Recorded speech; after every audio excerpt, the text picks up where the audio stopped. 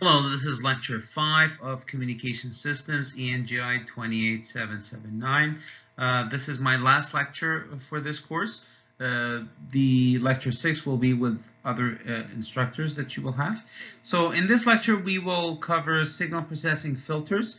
Filters is a big field. We will only highlight key filters and some of the outcomes of filters. We will talk about electronic oscillators. We will discuss frequency mixers. Uh, we'll talk about audio communications and how it means, uh, how we can um, uh, take an audio signal and process the audio signal and eventually uh, transmit the audio signal. And this is usually relevant anytime we use um, speech and we use uh, radio communication and we use uh, telephony. So this is where uh, audio communications become uh, critical. Uh, we will specifically link audio communication to to different type of, uh, of modulations, but most notably to, to AM and FM amplitude modulation and frequency modulation. And that should wrap up this lecture. Um, I have to give, mention that we will not cover FM fully. Um, we will just highlight some of these, both of these technologies, and we will explain AM and FM in a more generic way in such a way that it is not only relevant for analog communication, but it has a lot of uh, relevance to uh, digital communications, things that you will see from lecture six onward. Okay, let's begin. Before we begin into the topic of this lecture, there was one tiny uh, uh, subject that we covered uh, in previous lectures, in lecture 3 and in lecture 4, but I didn't really have a dedicated um, things to display to you on, on a slide. So, so now I have this slide and, and I will show it to you. So essentially, what I wanted to, to, to convey to you is that if we do have a signal in the time domain, and the signal is periodic, right? So you have a periodic signal, and we saw this, right? The square wave signal uh, is periodic, the sawtooth, the triangle, these were all periodic, right? It has a certain period, and it repeats after, uh, after with the same period of T naught. If it is periodic, in the frequency domain, what you get is a bunch of uh, spikes or a bunch of stems, these discrete points, at discrete frequencies. And they are all multiples of the fundamental frequency. And the fundamental frequency, you could get it from the time domain. Basically, it's 1 over f naught, uh, uh 1 over t naught, and that gives you f naught. So this is the first fundamental frequency, and these are multiples of the of the fundamental frequency, whether odd, even, or all of them. It depends on the shape of your of your of your signal. Uh, at the end of the day, what is important to realize is that if you have a periodic signal, you will get spikes, right? Spikes. So that's that's that. If you have a non-periodic signal, such a such a thing, you won't have a spike. You will have a continuous smooth figure in the frequency domain.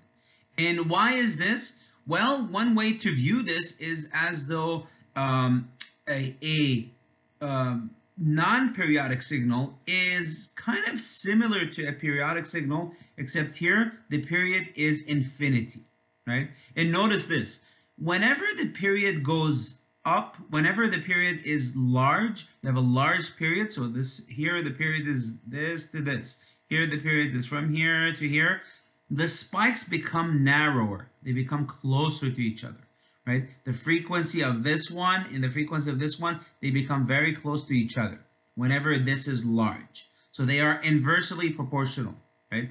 Um, so whenever the period goes large, the spikes between them, they become closer to each other. Here the, the, the period is smaller, the, the, the, the spikes are more spread out. Okay, so if you have an extremely large period, let's let's say a period of infinity, right? So in other words, it's a non-periodic signal. It's non-periodic. It doesn't have a, a specific pattern that is repeated. Then the spikes are so close to each other that it becomes a continuous and smooth figure like this one here. Okay, so this is what I want you to, to realize is that if we have a continuous time signal, continuous time signal, and it is periodic with a certain T naught, to move into the frequency domain, uh, we have to use Fourier series, right? To go from here to here, we have to use Fourier series. And the result that you get in the Fourier domain are spikes. what you see in the spectrum analyzer is a bunch of uh, spikes or a bunch of stems that, that are pointing, right? Uh, not necessarily like this. They will have a bell shape uh, to it, but nonetheless, this is how it would look like, spikes. Whenever you have a continuous time signal, like this one here, but it is aperiodic. There is no specific pattern that is repeated to it. Or you could think of it as though the period is equal to infinity. You will go to the frequency domain, and in the frequency domain, it's not a spikes that you see, it's an actual continuous plot, a continuous figure, okay?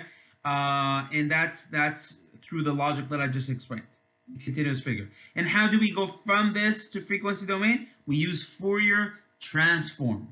Fourier transform. How do we go from this to this or from this to this? We use Fourier series. So just, just realize that. If we go from this to this, we use Fourier uh, series. If from this to this, Fourier series. From this to this, we use Fourier transform. We didn't cover Fourier transform fully, but that's the function that you use. Okay?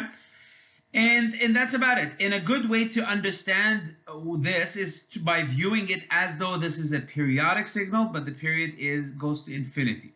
Now, in terms of the uh, the shape of how it will look like, it's like this. So if I give you the frequency domain this, and I give you the frequency domain this, and I ask you, is this does this come from a uh, from a periodic signal or a non-periodic signal? Well, because you see stems or because you see spikes or discrete points, you know right away that it comes from a periodic signal, such as, such as this or this.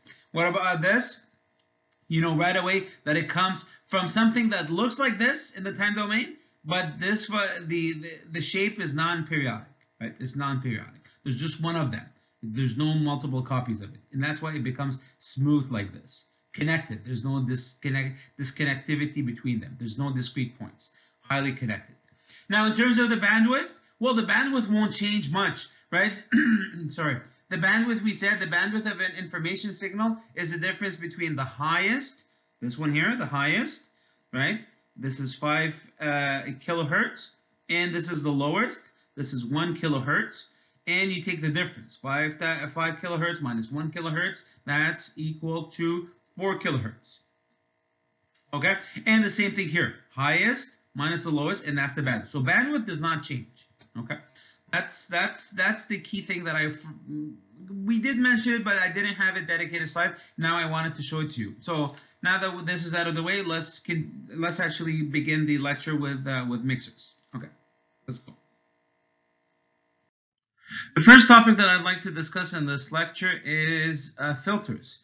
Uh, so the more, I guess, appropriate way of referring to filters, because there are so many filters in, in in, in life is signal processing filters. Filters that uh, are used in signal processing, which means what it mean what, what it is is that we have a signal and then we're trying to somehow modify the signal, and that's what processing is. You're processing, you're changing, you're modifying, you're adjusting the signal, and that's what the word processing is. Um, this is a huge field by itself, but we will just cover very briefly some stuff. This is a nice picture that I found on Wikipedia. It shows the different varieties of, of filters. So you have a low pass filter, a high pass filter, a band pass filter, a band stop filter, uh, um, uh, a low band uh, uh a low band pass, uh, a band high pass, uh, a low band high pass. So there are different type of filters. What it basically means is this. If you have such a thing, it means that it only passes this kind of frequencies that fall here. If it's zero, then it means it doesn't pass those frequencies. So here, anything from here onward doesn't pass it. Anything here doesn't pass it. Does not pass, does not pass, only passes here. In a certain band, only passes here. The higher frequencies only passes here. The lower frequencies only passes the, um, uh, it, it essentially passes all the frequencies except certain bands, right? Certain bands. So it's just a, a different varieties of uh, filters that you have. So we'll go more in depth in, in it. So uh, that's the first topic. That's why we call it 5.1. Uh, and then we'll move on after this to mixers. Okay, let's get going. Uh, previously, we talked a bit about um, the filters. The filters are these kind of boxes. So you'll see a box like this, and then you'll either see uh, an LPF. Uh, LPF stands for low pass filter, or you, sometimes you might see BPF. BPF stands for bandpass filter. So, and then if it's LPF or BPF, usually it tells you the bandwidth. It's LPF, what is the cutoff frequency? It tells you a cutoff frequency. Uh, and if it's a bandpass filter, uh, where is it generally centered or what's the bandwidth of this bandpass filter? I think as the name uh, suggests, it's a filter. Uh, you know, when you have a filter, uh, a filter is like a, a, filter of a coffee. You know, when you make your coffee, you, you put a filter. I don't know if you've seen this. Uh, it you put in your coffee bits and then you put in water, and so these coffee bits cannot go in. You just get the nice coffee uh, driplets uh, out of it. So it's just it it doesn't allow certain items to pass through, and it only allows others to go through right? So it's the same thing here. With a filter, what it means is that certain frequency will be allowed to pass and certain frequency will be simply stopped. It will say, you know, you cannot pass, we don't want to in the output, so you won't see the uh, certain frequencies in the output. And that's the whole point of a filter. So a filter allows the passing of certain uh, frequencies and it, uh, and it uh, prevents other frequencies from passing. So let's look at here. So in this case, we have a square wave signal. We saw this. We saw the square wave signal, and we saw how to break it down in terms of harmonics in lecture uh, uh, 4. We had an extensive lecture on this. And as you saw, the harmonics, they jump in between F naught, 3 F naught, 5 F naught, 7 F naught, uh, 9 F naught, uh, 11 F naught, 13 F naught, and all the way for a long time. And as it, it goes into uh, many harmonics, odd harmonics, the, the power uh, of each spike diminishes. Power diminishes. Power, or if you want the peak voltage, diminishes. Now, if we have a low pass filter, and we specify the low pass filter. So let's say a low pass filter, let's say up to, I don't know, 2 F naught, which means that it's a box that you put for above your spectrum, right? So this thing is the low pass filter. This thing here, this thing colored, and it only allows this to pass, only allows this one to pass, or whatever it's in its bandwidth. So let's say I have a low pass filter that goes all the way to 4. If it goes all the way to 4, it passes this and this. Let's say I have a low pass filter that it goes all the way to 5. If it goes all the way to 5, it generally passes this and this. It may also pass 5. So you really need to go a bit farther than 5 to cover it. So if I want to have five covered, I will maybe go until six. Right? That filter that will go until six, it will bring this one, this one, and this one. If my filter goes up to 2 point, uh, to 2 f naught, it will cover this one. If you're only if your filter goes to f naught, it it generally will take this one, but it not fully right? Because remember what we saw uh, about these spikes in lecture three? These spikes are not just a, a natural spike. They have a curve, right? So they look kind of like this. They have a kind of a curve. And so your filter should also be curvy. It's not just like, you know, a box that you put in. It, boxes uh, of filters, they sometimes are shown in, in theory, but in real life, they don't exist. Filters, they mostly look like this one here. Right? They have a curvy shape. Also, the spikes, they have a curvy shape. So your your curve should be a bit uh, more so that it really covers the actual spike. So let's say if you want to take this spike, you cannot just stop at F naught for the filter. You need to go a bit more, maybe until 2, maybe until 3. So this is a good picture. That gives you a, a good picture. And with this kind of filter, certainly you you know for sure that this one will get out. You will take this one. And all the other ones you will you won't take, right? So uh, you will reject all the other uh, harmonics. So with a low pass filter that goes, let's say, with a cutoff frequency of 2f naught, uh, you are taking this one here. So that's good. Uh, here, this is how it looks like. If you only take one harmonic, well, what do you expect? You will have it only at this frequency, f naught, and that's why it is one uh, kilohertz.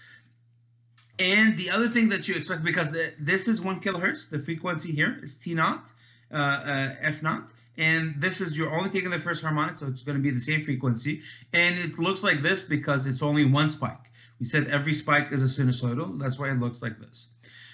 Okay, uh, if you had two spikes, if you had two spikes, uh, if your filter was a bit bigger, you would have taken this one and this one, uh, and your um, result will be an addition of two different uh, sinusoidals. And, and, we saw example of this. If you only add two sinusoidals, how will your graph look? It will still look like a square wave, but not a perfect square wave. It will have two kind of uh, uh, ripples here. Uh, and so it's not going to be a perfect square wave, but it's going to be somewhat of a square wave. Okay, and the more you put in, the closer you'll be to this one here.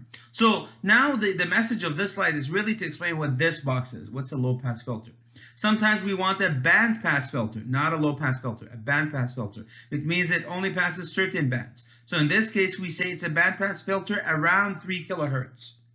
Okay, so which means is that it will take mostly whatever you have 3 kilohertz and things around it, very things very closely around it. So in this case, it's just 3 kilohertz, uh, and this is how it looks like. And it mean, what it means is all the other stuff are rejected. All the other stuff are rejected. If I ask you about filters in the midterm, it, don't you don't need to consider it like this. You could just put in a box. And generally, I will give you the center frequency of the filter, also the uh, the bandwidth of the filter. So I'll tell you this filter has a center frequency of 3 f naught, and it has a bandwidth uh, of, let's say, uh, 2, 2 f naught. So how do you measure the bandwidth? From 2 to 4, that's 1 f naught, that's 2 f naught, so that's 2 f naught. And the center frequency of it is at 3 f naught. Okay, so these are things of to, to explain to you how it is. Okay, uh, so this is a bandpass filter. It only takes this one here, the third harmonic, and the first one, the fifth, the seventh, and everything else is rejected. Uh, what do you see in the output from your square wave? Well, you still see a sinusoidal, except now it operates at at this this frequency. Frequency that operates here is at 3 f naught, and therefore 3 kilohertz. Uh, so it's three times faster than this. Okay, this is looking at the result of the filter in the uh, in the time domain. This is looking at the filter, result of filter in time domain. This is what you see in the frequency domain. So this is the frequency domain of this.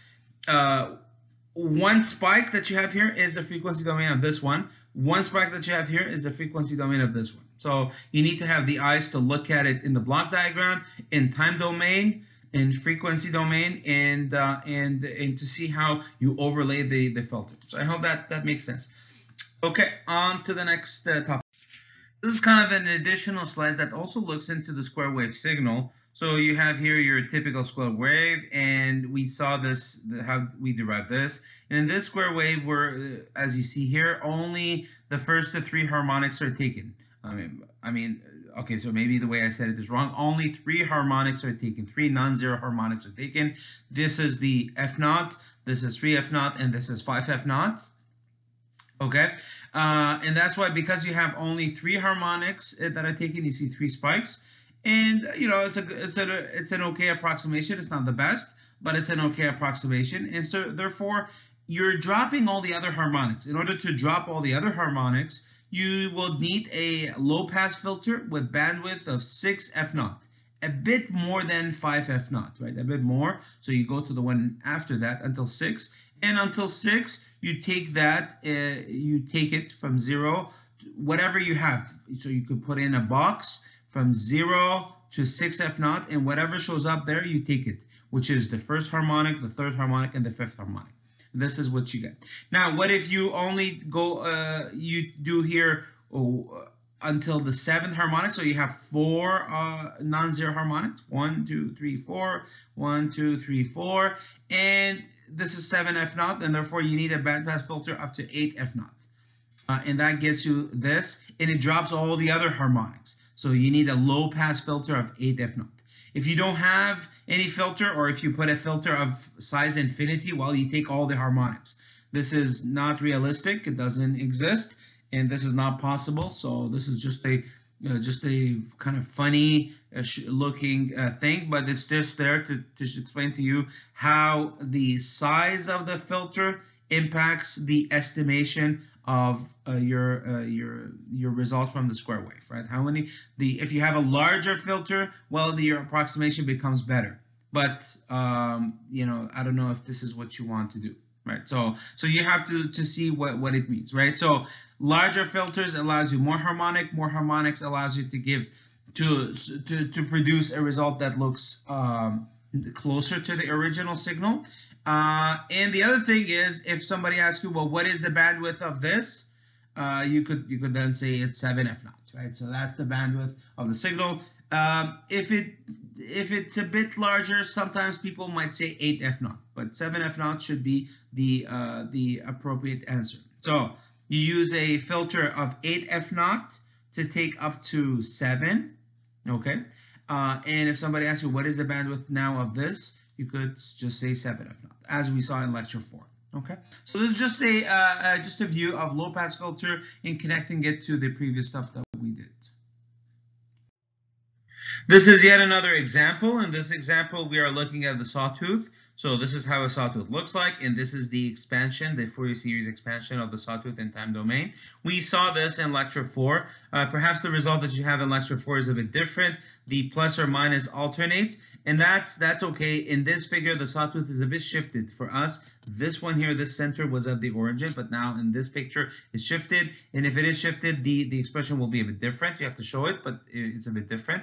Nonetheless, um, if we only show the first harmonic, in other words, we take 2 v naught over pi times sine omega naught t, uh, this would be it. If we do the second harmonic, it's the same amplitude, except now it's divided by 2. So it's whatever this amplitude is, if this is 5 volt, this is now 2.5 volt. And this is for the second harmonic. This is for the third harmonic.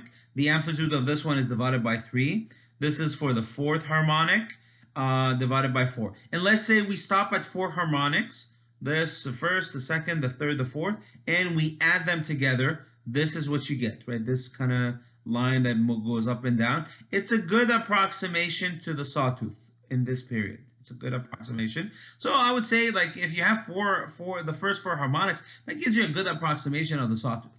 Okay, so now let's look at it from a filter point of view. So if you take filter A, so this is the original one. This is the original sawtooth. We just put it here. But it, now if we only take filter A, where's filter A? Filter A, so you only have a box here. You see it? The box for filter A. It only takes this one here, this harmonic. So in other words, this is what you get. This is this result, right? And so if you look at this and you look at this, they're not quite the same They're not quite the same, not a good approximation. So this is not a good approximation. If you make your filter a bit bigger, right? So you make your filter a bit bigger, uh, instead of stopping here at let's say 1.5 kilohertz, you bring it up all the way to let's say 4.5 kilohertz. Right? You can put the filter anywhere. The size, the cutoff frequency, the, the place where it stops, this is known as the cutoff frequency of the filter. You could put it anywhere you want. It doesn't have to be at integer values. It's your filter. You design it. You can put it anywhere you want. So let's say you have a filter, this filter B, it goes all the way to somewhere between 4 and 5, which is let's say 4.5 kilohertz here. Uh, and if it comes until 4.5 kilohertz, it will only take whatever is inside it. So it will take the first harmonic, the second, the third, and the fourth. So this, you basically will get this one here, this approximation here. You add all these different terms, and this is what you get. This is a good approximation of the original signal. Uh, let's say you are you have uh, more resources and you have a better, more expensive filter. Your filter has a bigger bandwidth. So this is the bandwidth of the filter. This is the bandwidth of the filter. This is the bandwidth of the filter, a bigger bandwidth. Uh, and your filter goes all the way to 100 kilohertz bit crazy, but you know, let's say you have that. Okay, and if you have a filter that goes all the way to 100 kilohertz, then that's great. It means you are taking 100 harmonics. This is one, two, three, four. You go all the way to 100 harmonics, and this is what you get. Now, to be honest, this is not quite realistic. It's a huge filter, uh, but sometimes uh, people are able to build such a filter. Uh, and if it is the case, then that's what you get. If you get this, well, you compare it to the original signal, it looks quite good. So if you take the first 100 harmonics, that's a almost perfect uh, uh, match, right? Almost perfect.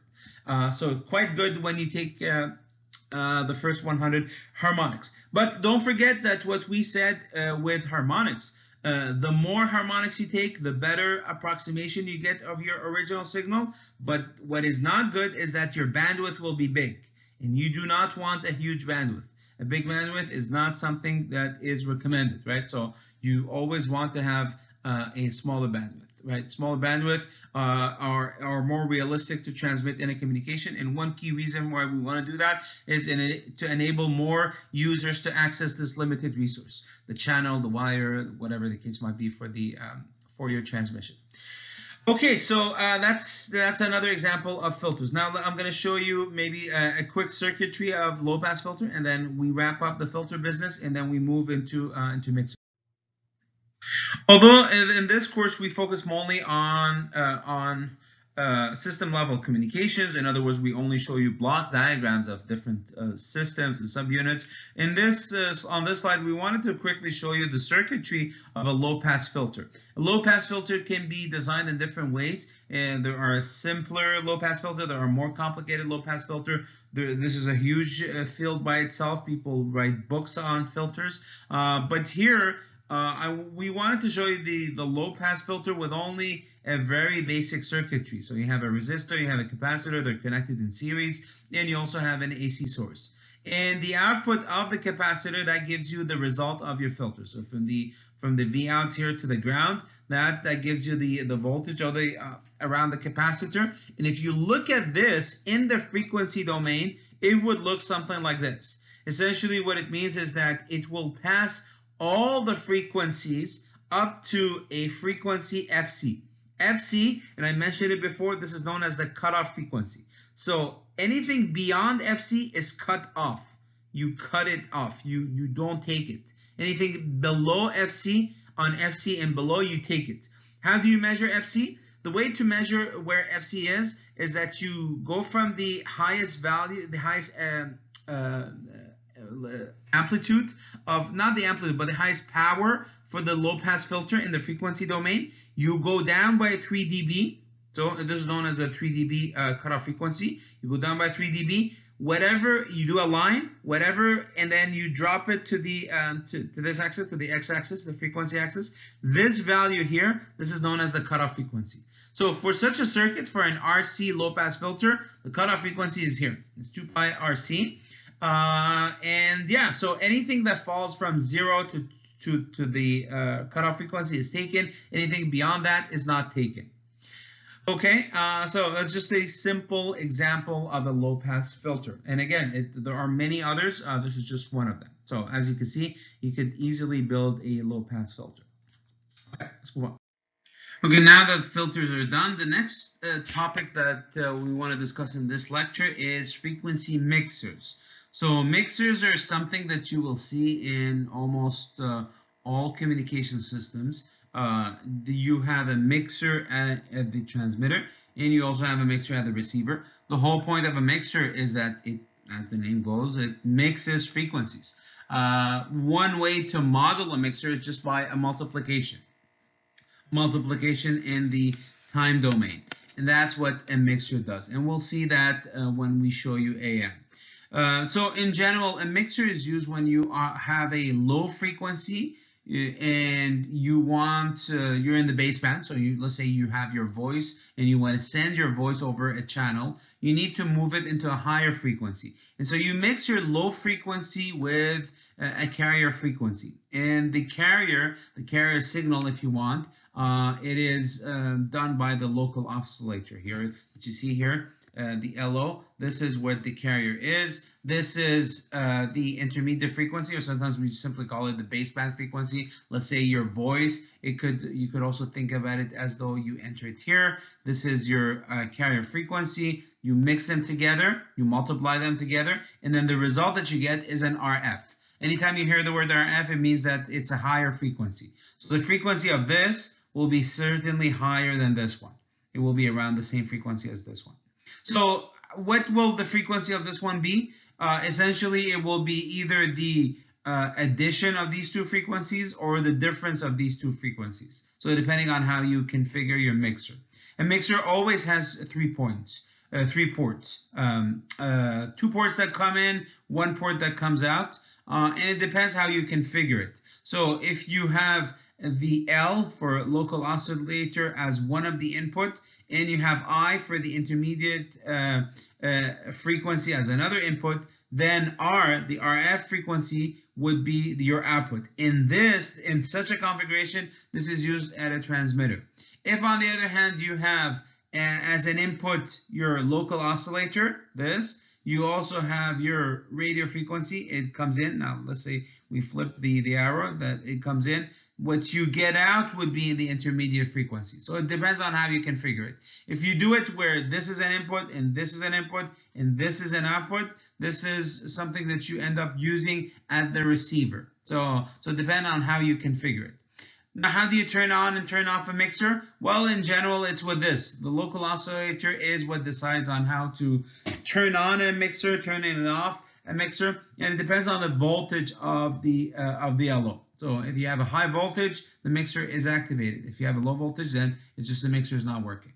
Okay, so I hope that uh, that that's kind of a, a quick uh, uh, view here. Now, when we talk about mixers, we will talk about other things around mixers as well. So terminologies that you might end up hearing in communications a lot is up conversion, uh, down conversion, um, and of course local oscillator, right? So you'll hear that. Um, intermediate frequency is a terminology that you hear.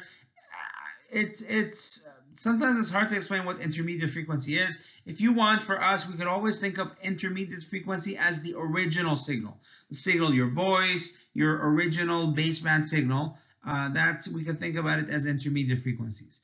Um, in general, intermediate frequency is used when we want to bring something at a lower frequency so that we could process it uh, at the receiver before actually putting it at a speaker or at the at the final destination of the signal. So it's certainly Anytime you hear enter IF or intermediate frequency, it means the frequency of it will be less than this one and less than this one. So that's just given to you. And so this is always at the baseband. This is a higher frequency, and this would be at the passband, right? So you multiply a low frequency with a high frequency, you end up getting a high frequency. You multiply a high frequency with a high frequency, you end up getting a low frequency. Okay, so we'll see that on the next slide. As we just saw earlier, all frequency mixers will have a, a, an LO, a local oscillator. In fact, you will have a local oscillator in both uh, at the transmitter end and at the receiver.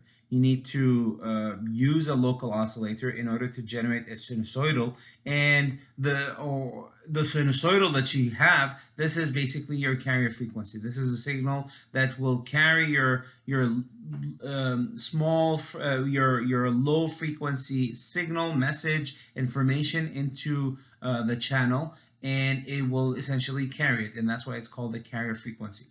Uh, now how do you generate a, a, a, local oscillator? Well the way to do it is you simply need a DC supply. You put it into an oscillator and what is comes out of the oscillator is essentially a sinusoidal.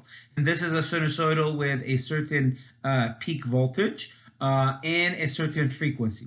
The frequency that you get from the oscillator will be generally high because we're using this for um, as a carrier and uh, you need to carry the signal to very high frequencies. If we're talking about AM uh, signals it's generally in the kilohertz and in the megahertz. If we're talking about uh, FM signals, it is generally uh, in the megahertz. And if we're talking about wireless technologies, Wi-Fi, uh, Bluetooth, Zigbee, um, cell phone, mobile communication, V2X, satellite communication, they will uh, send your signal in the gigahertz. So depending on the application, your uh, the generated um, signal that you get from the oscillator will uh, will be, um, you know, for, for instance, if we talk about RF oscillators, they're somewhere between 100 kilohertz to 100 gigahertz. So it covers all ranges from the AM, the FM, and all the different uh, digital wireless communication technologies. So one thing to realize is that you have an oscillator on both ends, at the transmitter and at the receiver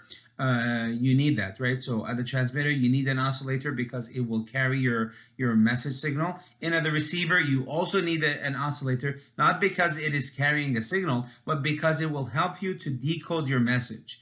Uh, so you need an oscillator. Uh, we just saw it earlier on the previous slide, and we'll see it later on on the next slide, where we take uh, the RF signal, we put it, we multiply it with an oscillator, we pass it to, through the mixer, and then the, the result is what gives us the, um, the IF, or if you will, your, our uh, message signal. Okay, so this is what I wanted to do, to show you here on this slide. So very quick slide, how, how it's generated, where it's used, what are the typical frequencies that you get with an oscillator. Okay, let's get going. So as mentioned before, this is how uh, one would, for instance, visualize the benefit of using a mixer. So if you notice here, in this case, the mixer is used to up convert. In other words, to take a, um, a signal from the baseband. So anytime we talk about baseband, we mean that a signal is around the DC, around the origin here, right? It's around here, and we want to move it somewhere, respectively, where it should be on the spectrum, right, at a higher frequency. Uh, in order to move this, you need to take your signal, which is represented by the IF. So this is your message. This is you talking. This is uh, a, a, signal, a, a radio uh, signal. This is a um, whatever. This is the, the information that we want to convey. And the, the mechanism by which we will use to, uh, to make our signal travel uh, uh, to go to a respective frequency is this, the local oscillator. So the local oscillator essentially is your carrier frequency. Okay, so this is one uh, particular signal. This is another particular signal. In general, the local oscillator, or if you will, the um, which which basically is your carrier frequency, it is a sinusoidal. So it's a sinusoidal with a very high frequency, a high frequency, the frequency where we want this to move. And in general, it is sinusoidal, right? But it doesn't have to be. There are some certain cases where um, the uh, local oscillator is actually a square wave. Uh, but in most of the time, it is a sinusoidal uh, uh signal it just happens sometimes it is a square wave. So I think if you assume that it is a sinusoidal, it's a safe choice. Uh, you multiply them together. That's why you have the symbol here, the x. Uh, they are multiplied in the time domain. And what you get, the output, is what goes into the air. Okay, so all this actually happens in the transmitter. All this happens in the transmitter. Okay, and essentially what happens is you take your signal, the it moves uh, at a certain high frequency and the power of it is in fact a split. It's split. Part of it will be on the left side, part of it will be on the on the on the positive side. And where does it show up? At which frequency? It shows up at these frequencies. The lower part will show up at the uh, frequency where you take the difference. You take the difference, you take whichever you want, maybe uh, the local oscillator because it is uh, certainly larger than this minus this and that's the lower part where that's the center frequency of it and the other one the uh, will appear at the addition of these two that's where the other part of your information signal is now it is in the channel right now it is in the channel and um, uh, that that that's that's where it is located in the channel when we uh, have the signal travel so you have to move your signal to an upper frequency for it to travel over the air. You have to. Otherwise, it's not going to go in the proper place. It will interfere and, and so on. So you need to know at which frequency you're allowed to move, and then you move it to that specific frequency. So this is a baseband, this is high frequency, and this is passband. This is what happens. And all this is really related to the transmitter.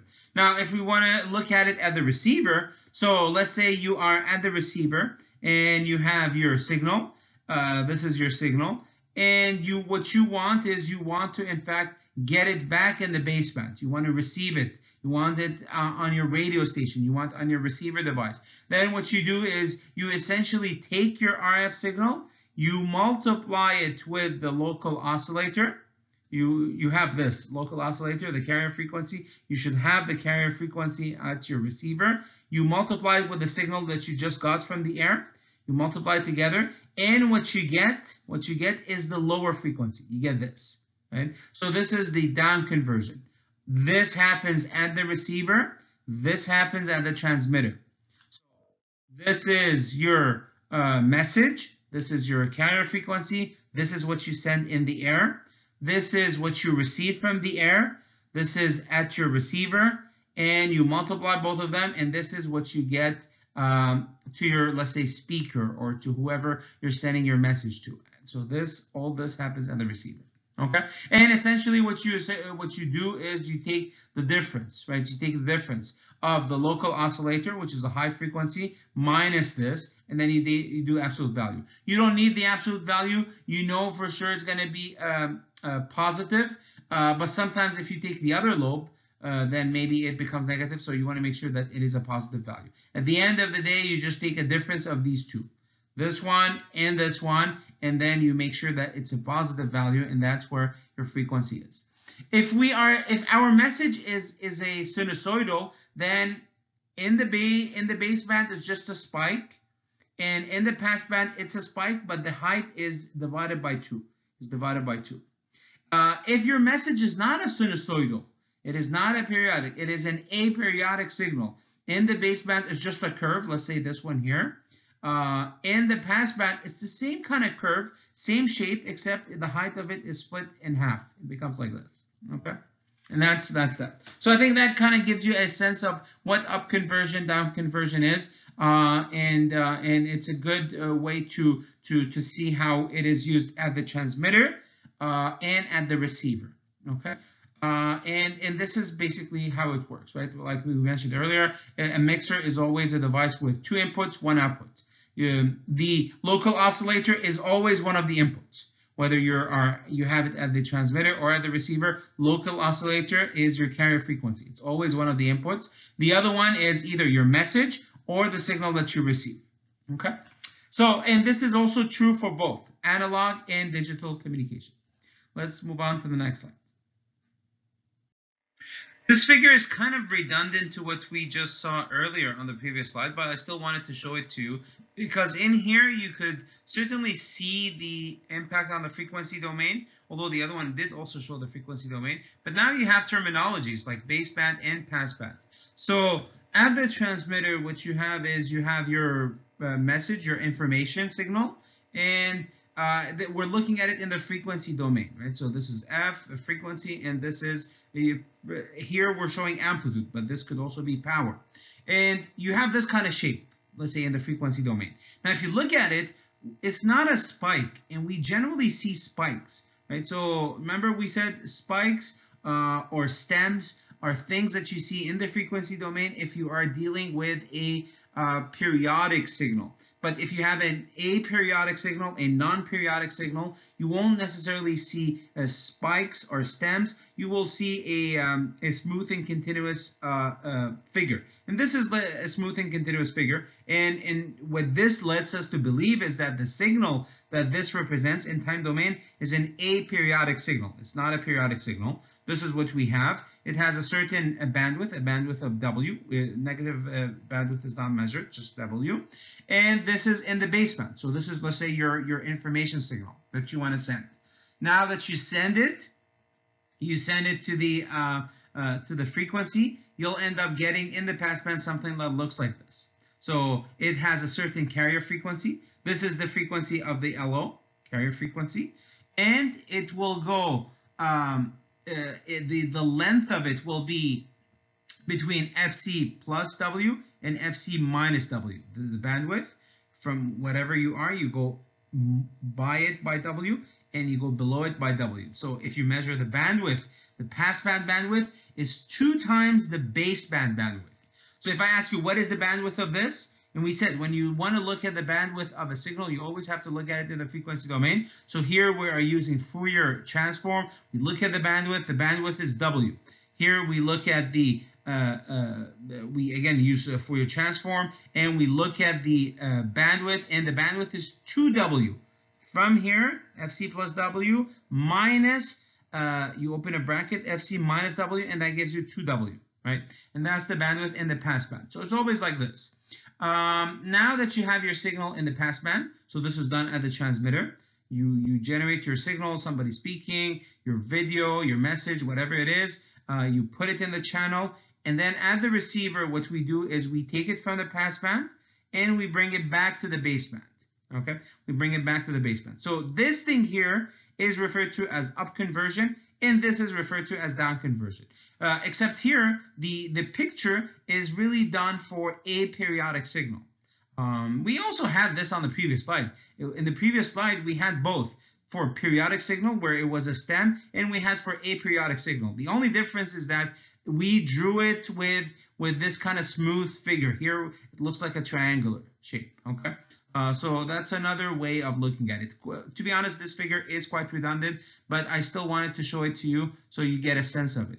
The key thing to, to recall is how you go from baseband to passband and how you go from passband to baseband um, at the transmitter, at the receiver, during up conversion, during down conversion, and also the amplitude of your uh, spectrum, the amplitude of where the spectrum appears is half. So let's say this is, I don't know, some, I don't know, so 5 volts, then this one will be 2.5 volts, and this one here will be also 2.5 volts. So this is something that you should know. Okay. Okay, so finally we're in the last uh, stretch of this lecture, which is the, uh, the third part. And in here we will talk about, um, as the title goes, with amplitude modulation. So we will kind of give you a quick overview of AM, although we did talk about it in previous lectures, but we'll give you a quick overview of AM, how AM signal is formed. So we'll see how this is done. Uh, we'll show you some some equations, not too much, but uh, mostly um, we'll we'll show you the graphics of how the AM signal appears in the AM and also uh, uh, sorry how AM signals appears in the time domain and also in the frequency domain. Um, we will also talk about uh, a special index that is uh, used with AM modulation, and it, it is known as the modulation index. Uh, it has a certain uh, meaning uh, for AM. Uh, it is used to know if you have if you are doing your modulation properly or if you are over modulating and if you are over modulating what are the impacts of that um, and how can you recover your signal Sometimes you cannot, but we'll see that uh, when we talk about the index. We will also discuss uh, the power of AM signals, and we will also see very quickly different ways of modulating AM with double sideband or single sideband modulation. So there's two different ways of doing the same thing. They're very, they're almost the same, except one you just filter part of it as opposed to the other. So we'll see that um, very briefly as well. Uh, finally, we will talk about how the AM signal is detected. How do you receive an AM signal? And, uh, and also very briefly on the impact of noise. And that should wrap it up. Okay. This slide is really a refresher of uh, modulation because we certainly did talk about modulation uh, in earlier lecture, but very uh, uh briefly. So what is modulation? So the the signal that you will have in the uh, in the baseband, the the source of your signal, the message, sometimes it's called the intelligence that you're trying to send. This signal that you have, this source of signal that you have, audio, computer data, whatever it is, in this case it's an audio signal, this usually operates, in fact, it, it generally operates in the baseband, so it, it means it operates in low frequency. And low frequency signals cannot travel far right? So you cannot bring them far. What you need to do is you need to attach a low frequency signal to a signal with a high frequency. And that's why we use an oscillator. An oscillator will generate another signal. It will generate basically a sinusoidal with a higher frequency, certainly higher frequency than this one. So you take the signal, you look at it in the, um, let's say, if your signal is aperiodic, which we assume it is aperiodic, you look at it in the frequency domain using Fourier transform, and you take the, the bandwidth of it. This uh, frequency is certainly the operating frequency of this, the carrier frequency uh, from the oscillator that is generated from the oscillator here will be certainly way, way bigger than the bandwidth, the baseband bandwidth of your message signal. Uh, and that's that's just and that's what we wanted, right? We wanted something to to be at a higher frequency. So then you take this and you attach it to this. You embed it with the carrier signal. The carrier signal will then carry your signal across the channel. Uh, how do you do all that? Well, you do it at the receive at the transmitter, and you use a device called a mixer, okay, that we just uh, explained earlier. Then you get your AM signal. So this is pretty much your AM signal that you get. Um, uh, and the same idea actually applies for all different type of modulation, uh, including uh, uh digital uh, communication. the idea similar. There's some uh, variations of it. So, for instance, if you have an analog signal, you need to change it to digital. But then at some at some point, you will still need an oscillator. You will still need a carrier frequency. So the idea is very similar to what we also use with other type of technologies. Okay, so now uh, let's let's put our hat, AM hat and let's look at it from an AM perspective. You get an AM signal and generally you're ready to, to send your signal to the tower and then the tower will broadcast it through the air so that anybody with a radio can be able to detect this uh, the signal. Uh, before you send it off to the uh, to the um, to the cell tower, not the cell tower, to the uh, AM tower, uh, it is not a bad idea to amplify your signal.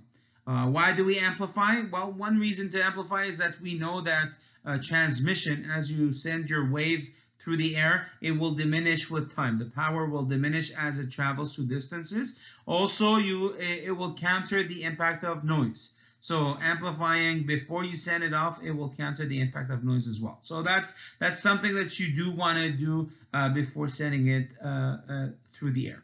Okay, so that's just a very quick uh, understanding of modulation, but really uh, kind of in general, but also specifically uh, if we're looking at this picture for the AM uh, modulation, for amplitude modulation. On this slide, my, my interest is that you get a bit familiar with the shape of different signals. Uh, when we talk about AM and FM signals, simply by looking at the shape of the signal, let's say in the time domain, you should right away get a sense of what kind of signals we're talking about. So in this case, uh, let's say you get such a thing, you certainly notice that it is a sinusoidal, whether it's a sine or cosine, it doesn't matter, but at the end of the day, it is a sinusoidal signal, and it has a certain uh, amplitude, and it has a certain frequency. And uh, the uh, it's highly packed together which means that the frequency, uh, the, the period is very small, uh, and the frequency, the, the frequency of this signal, the, um, the fundamental frequency, 1 over T naught, is very high. Uh, and that's what you wanted, right? You wanted a very high frequency if we're talking about a carrier signal. So this is really a carrier signal. It is a sinusoidal, it has a high frequency, and we said earlier when we talked about the uh, oscillators that you can certainly generate um, signals with an oscillator that can be in the uh, in the kilohertz, in the megahertz, and also in the gigahertz. Gigahertz for digital communication, satellite and uh, mobile communications and, and Wi-Fi. Uh, megahertz for the um, uh, FM and kilohertz and megahertz for the AM. So that's that's a carrier signal. So it looks like this. Uh, an information signal. An information signal could look what I mean, there are different ways of an information signal. What we saw on the previous slide, that was an example. It looks a bit random, uh, it looks a bit unpredictable, and that's what an information signal is. It's the human voice. Let's say if it's a human voice, human voice is, is us talking. So we talk within a certain range from 20 hertz to 20 uh, kilohertz, and within there we will have certain power at different frequencies.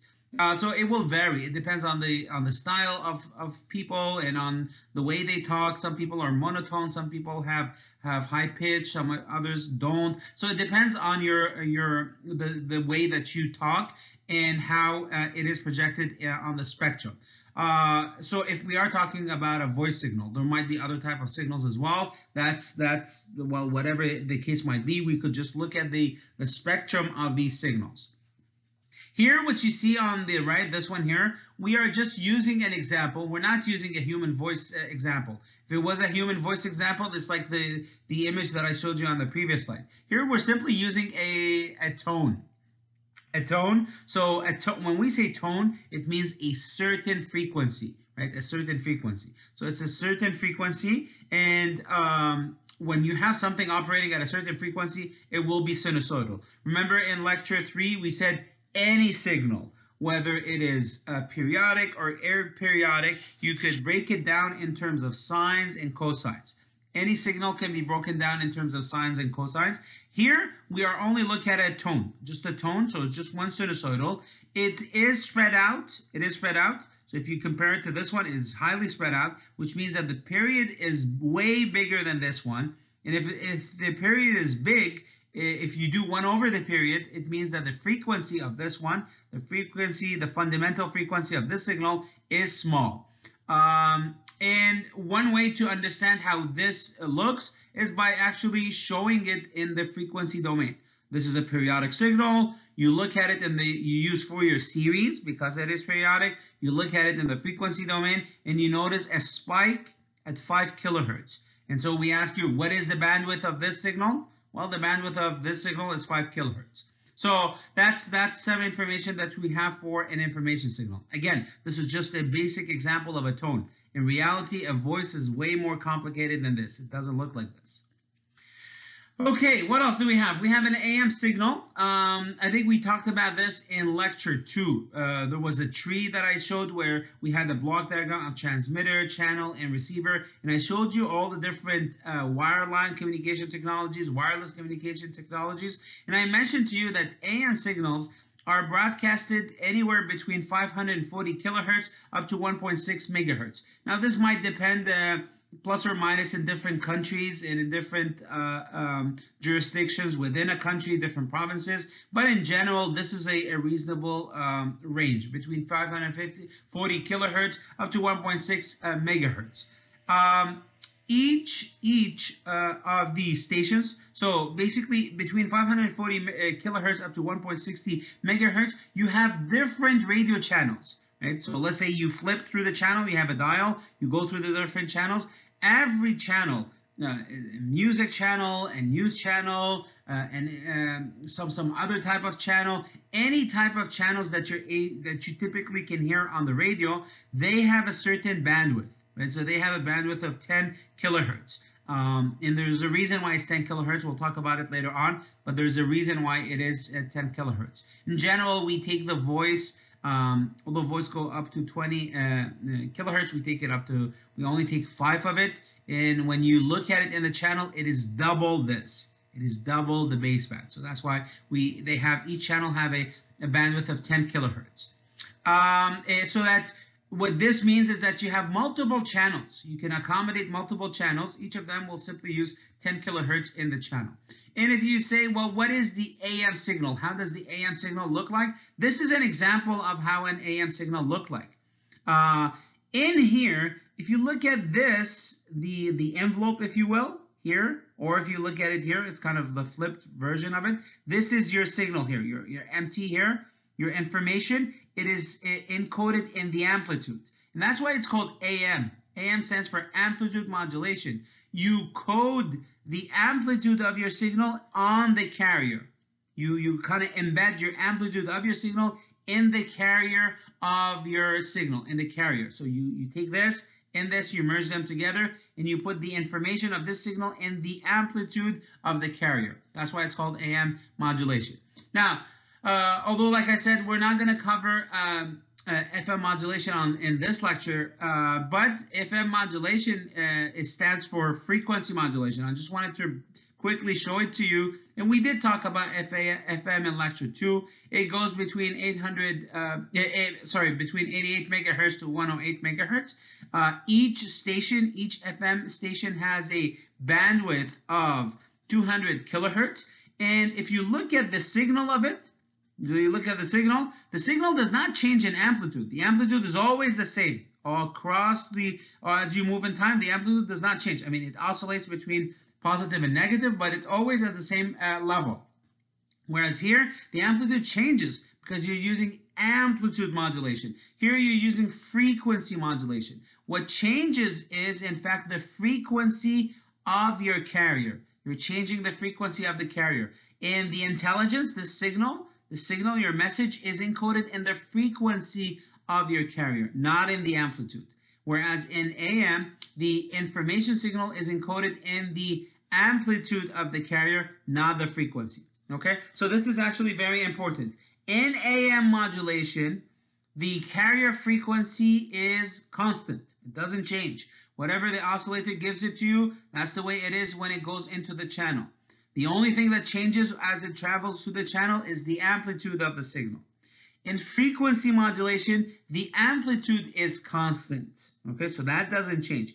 The only thing that changes is the frequency of the um, of the carrier frequency. The carrier frequency of uh, here, this the carrier frequency. This is what it changes. Okay, so I hope that kind of uh, um, kind of gives you a sense. So just by looking at it, you see that this is highly, uh, it repeats and it's very, uh, uh, it, it, repeats very quickly. It uh, uh, it has, uh, they're very packed together. So it means that the frequency is very high and that looks like a carrier frequency. This looks right away because the amplitude changes. This looks right away like an AM signal. This, the amplitude doesn't change, but the frequency changes. it's more spread out, it's more tightly packed, more spread out, more tightly packed.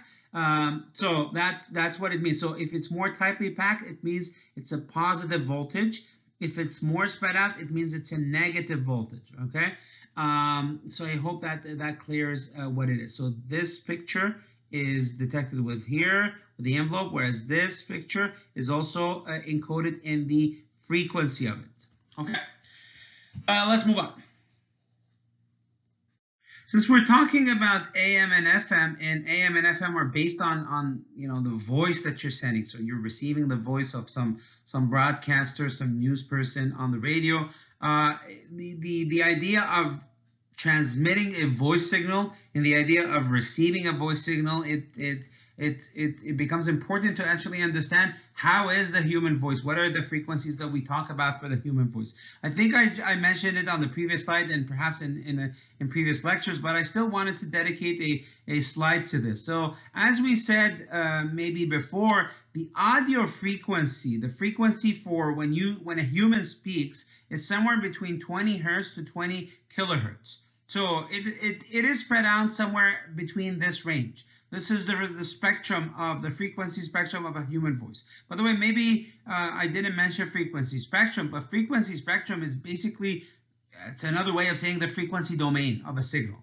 So you have a signal, you use Fourier series or Fourier transform to look at it in the frequency domain. This thing that you see in the frequency domain, this is known as the frequency spectrum of a signal.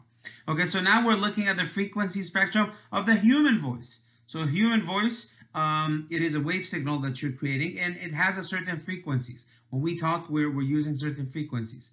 So we move, humans are able to move anywhere between 20 hertz to 20 kilohertz. It doesn't mean that they have the same power at all the different frequencies. In fact, this is an image that I found on uh, on StackExchange.com, and it shows the spectrum of the human voice. And I mean, this is for for for a certain pronunciation of the word "o." right? So you see here the word O, this is how it looks like, the spectrum of somebody saying the word O. And it, this will, in fact, change from one person to another. It will change if uh, a person uh, will say the word O as opposed to another person. It will also sometimes change from from male to female depending on the on the um, on the, uh, the the way the voice is um, is is um, is perceived on the spectrum. So there's some studies, there's some peer-reviewed papers that looks at the at the different uh, spectrum of the human voice depending on on the, the between male and female. Um, so anyway, so if we look at it here, the spectrum for this one here for this kind of one specific person that did this, it ranges between, in fact, zero, it should range between zero to 20 uh, kilohertz. But in reality, as you notice, uh, whether for or or for any other thing, the the importance of higher end frequencies, so let's say from 5 kilohertz up to 20 kilohertz, is very minimal. It is still there. You still have information in the signal. Uh, so there's still some power in that signal, but it diminishes. It diminishes. So what generally uh, companies do that, uh, that that transmit voice signals, so telephone companies or even uh, radio uh, communication, they chop it. They chop it up to 5 kilohertz, sometimes up to less than 5 kilohertz, sometimes up to 3 kilohertz, and then they drop everything else. And the reason is that if they were to include everything, the bandwidth will be tremendously large. And if you have a lot of a big bandwidth, then it means you can have less uh, AM radio channels, right? You cannot accommodate more radio channels. So in order to accommodate more radio channels, the uh, the voice signal is chopped, chopped to 5 kilohertz, not more than that, although we can speak up to 20 kilohertz. And only this information is what is sent in the air. Now, what this means is that in general, for the perception, for human perception, we are able to understand uh, somebody speaking up to 5 kilohertz. Uh, the other information is lost Uh, it is sad that it is lost. Uh, it diminishes the quality, but we're still able to understand when somebody speaks up to 5 uh, kilohertz. Okay. Uh, when you put it in the baseband, when you put it in the channel, the like I said on the previous slide, the frequency, this 5 kilohertz, is multiplied. It becomes 10 kilohertz. It becomes two times.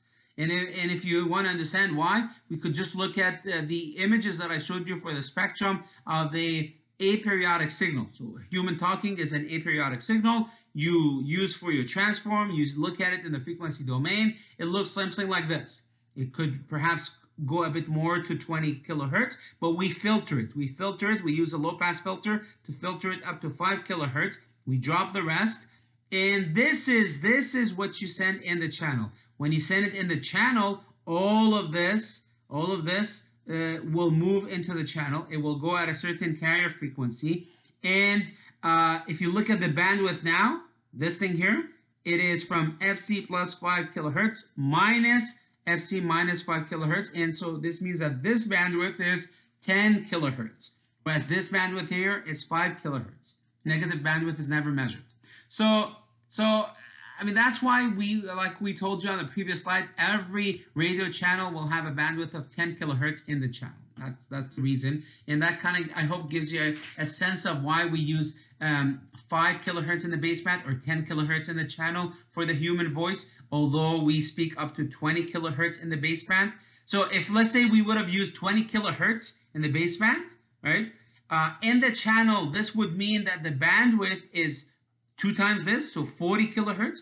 And if you have 40 kilohertz, you are basically what this means is that you will have uh, four times less radio channels because you your every channel will be using so much bandwidth uh, and you'll have four times less uh, radio channels. So if you are in uh, I don't know in in a in a city or a country where there are 16 um, AM channels, uh, if you divide by four, then that means that you will have only four as opposed to 16 channels. So uh, from a business point of view and from a, um, I guess, uh, societal point of view, having more channels is more interesting. And so that's why, well, this is one other reason why we chop it down to only five and then uh, accommodate more radio channels. So I hope that kind of gives you a sense of, uh, of what it means.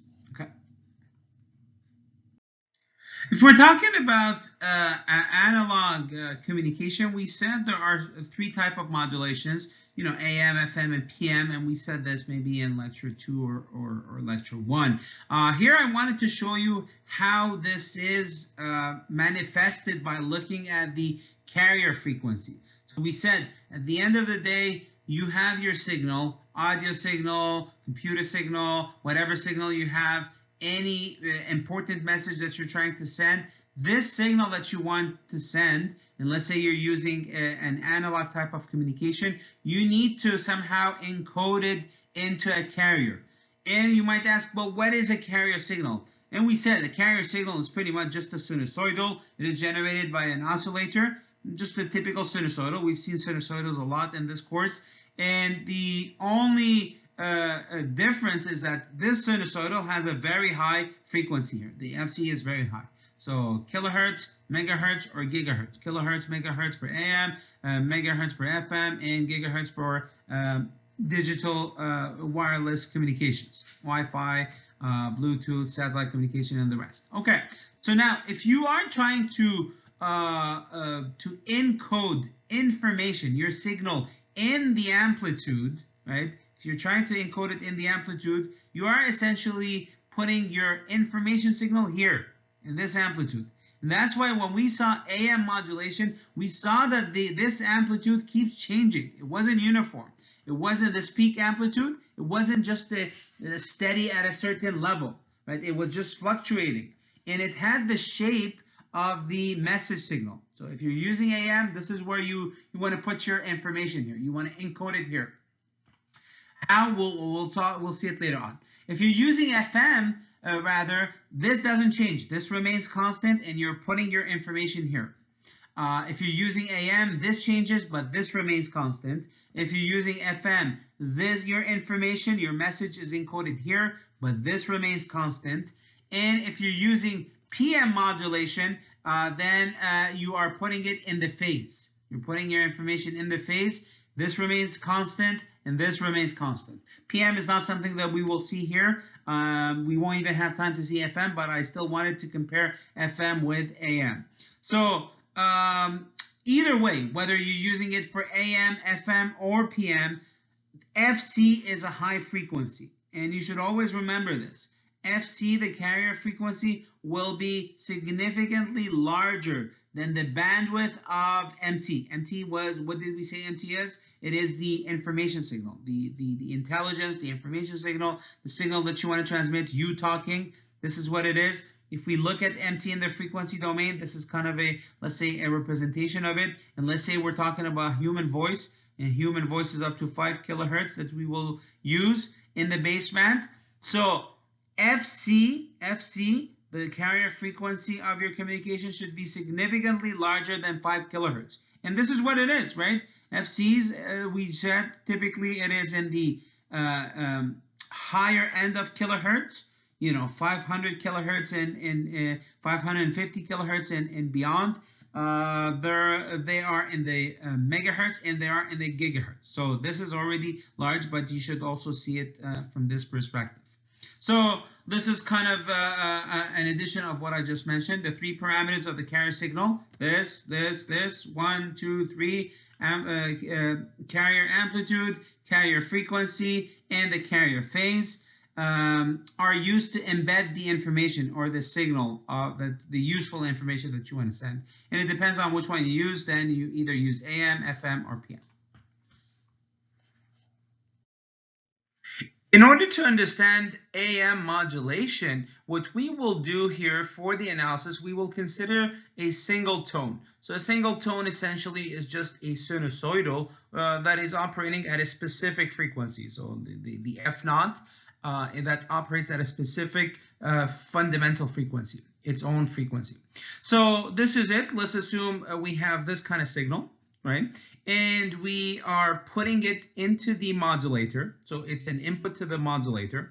Another input to the modulator, or it is kind of inherent inside the modulator, is the oscillator. So you have the uh, electronic oscillator that is that is there that, that will produce your uh, carrier uh, signal and what you get at the output is your uh, AM signal. So let's kind of look at it in a more uh, careful way. So um, you have your signal. So we said it's a tone. So a tone is just a sinusoidal. If we write it mathematically, we could just write this. So uh, V of M, M for message or information signal, and it has an amplitude and it has a specific frequency. So it runs, um, maybe I said F naught, but in general, in this case, it runs at a frequency FM. So it's just one tone.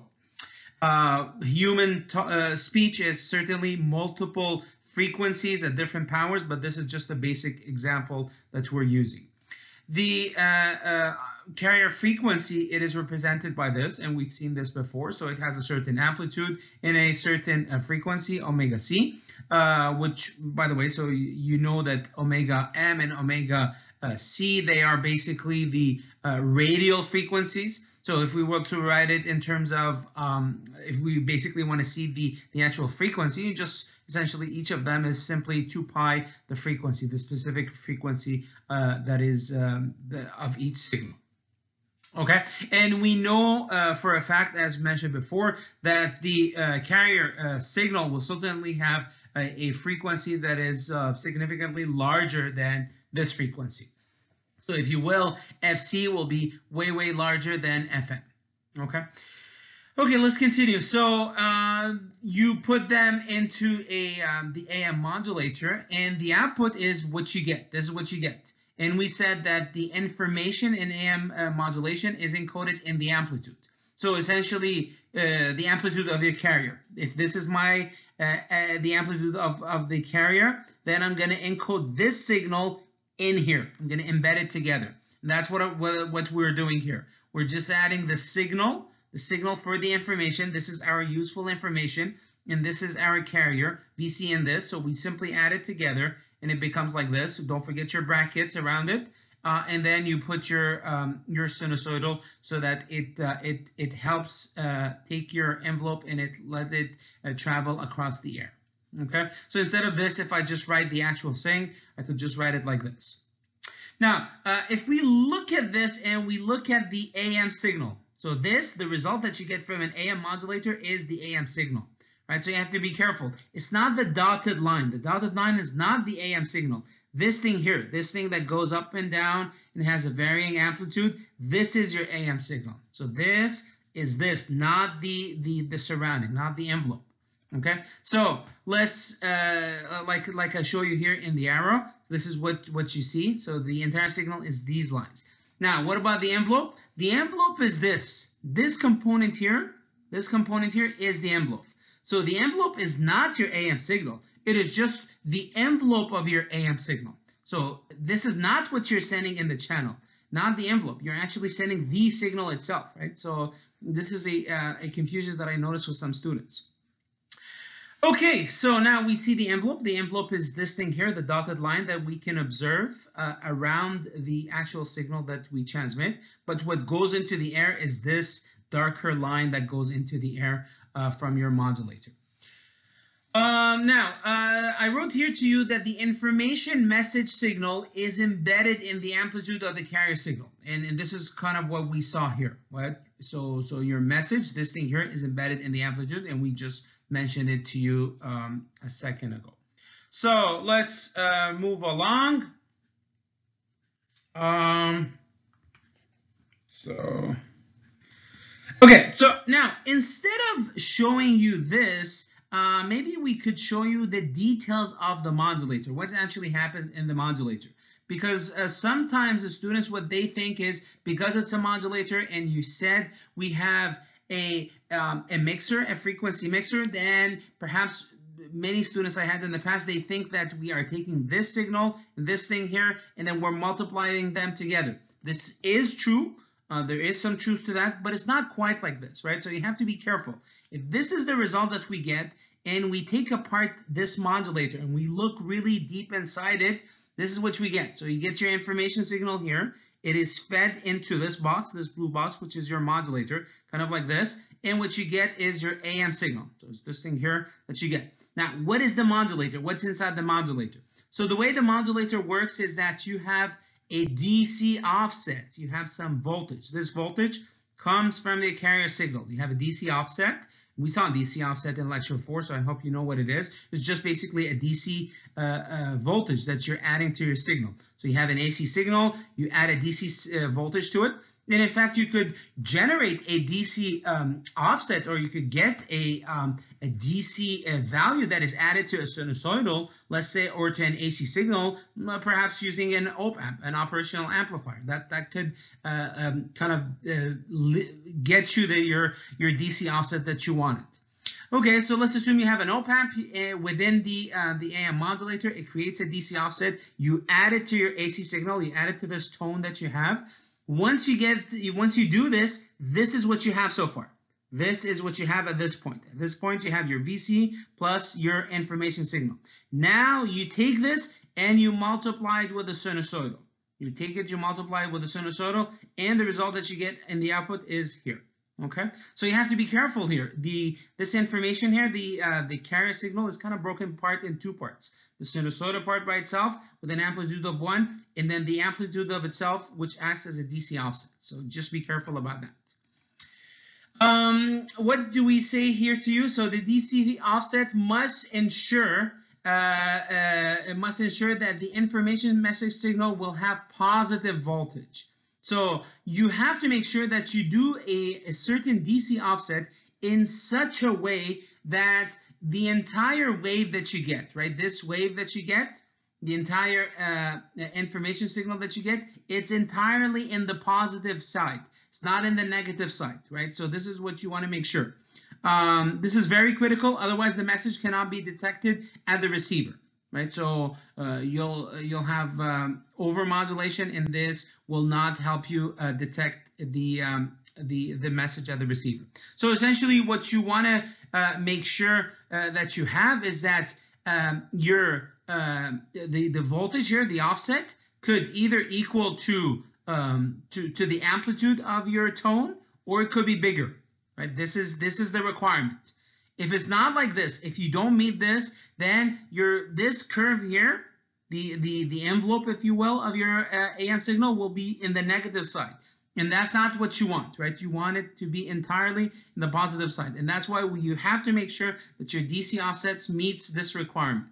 Okay, so again, if you don't meet this requirement, so if Z, VC, if the amplitude of the carrier is equal to the amplitude of the of the information signal, you're okay.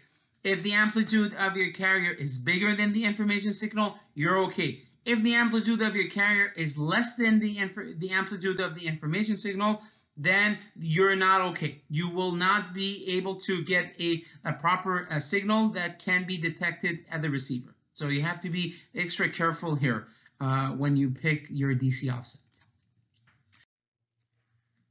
In here, my uh, goal is to kind of uh, show you how uh, we could further analyze the AM signal in time domain. So this is what we got so far for the AM signal. It is in time domain. This is how it looks like in the AM, uh, uh, AM domain. Can we somehow expand this expression? And we want to do this expansion not just because we want to only focus on the time domain. This time domain expansion will in fact lead us to the frequency domain, right? We will break it down uh, into sinusoidals. And when we break down a signal into sinusoidals, as you know from lectures three and lecture four, um, it, then we will be able right away to see it in the frequency domain. And that's kind of the reason of, of this slide. So let's, let's uh, do this. So essentially here what I did is I, uh, I wanted to show you the, um, uh, the uh, instead of the message here that we have the tone, let's just put it in. Let's just put it in inside the envelope, and let's distribute the sinusoidal of the carrier to the uh, to the bracket. So you will end up with this and this part here. If you notice this part here, this is exactly your um, carrier uh, signal, whereas this part here you have uh, the amplitude and you have the two sinusoidals. You have the first sinusoidal from your message your tone, and you have the next sinusoidal for the carrier. Um, if we open a sidebar here, uh, and in this sidebar, I just wanted to show you this uh, trigonomic tr uh, uh trig identity. And we saw this, uh, or you saw this in, in some of the math courses that you've taken, where you, when you multiply two sinusoidals, two, uh, two sines, so sine of something times sine of something else, it, what you get this, this, this, this expression here. You get a half cosine of the difference minus cosine of the addition. So this is what you get. So this is just a sidebar. Let's use this in here. So instead of these two sines, let's just kind of express it in this form here. Let's consider A to be WC because it's bigger. And let's consider B to be WM because it's smaller. But if you do the, the, the reverse, that's fine as well. You'll have a minus. Uh, cosine of a minus is always a positive, so you could adjust it that way as well. So let's do that. Let's do that. Let's use this uh, trig identity in the expression. And this is what we end up getting. We end up getting um, the amplitude of the message divided by 2 uh, cosine of the um, uh, uh, of this, this expression, WC minus WM, so omega C rather, minus omega M, and you have minus, so be careful here, you have a minus, because we took it from here, Vm divided by 2 cosine of um, uh, omega C plus omega M. Now, let's say we don't want to see the omegas. We want to see it in terms of actual frequencies. And we know that these omegas, they are the radial frequencies uh, so every time you see a radial frequency is just essentially 2 pi the frequency, uh, the corresponding frequency. Let's, so let's just do that. Let's just do that, and this is what we get. This is the uh, the expression that we get, right? So in here, you uh, we broke it down into uh, into this expression that we have for the AM signal. We in fact broke it down into various frequencies. So at this frequency, you have this component. At this frequency, you have this component. And at this frequency, you have this component. This is the frequency of the carrier signal. This is the uh, information message, but it's not together. It's split into two parts. One half of it is in on this frequency, FC minus FM, and the other half is on FC plus FM. Now, what about the minus here? Do we care about the minus? Well, the minus will not matter for us because when we look at it in the frequency domain, uh, we said we always look at it as an absolute value.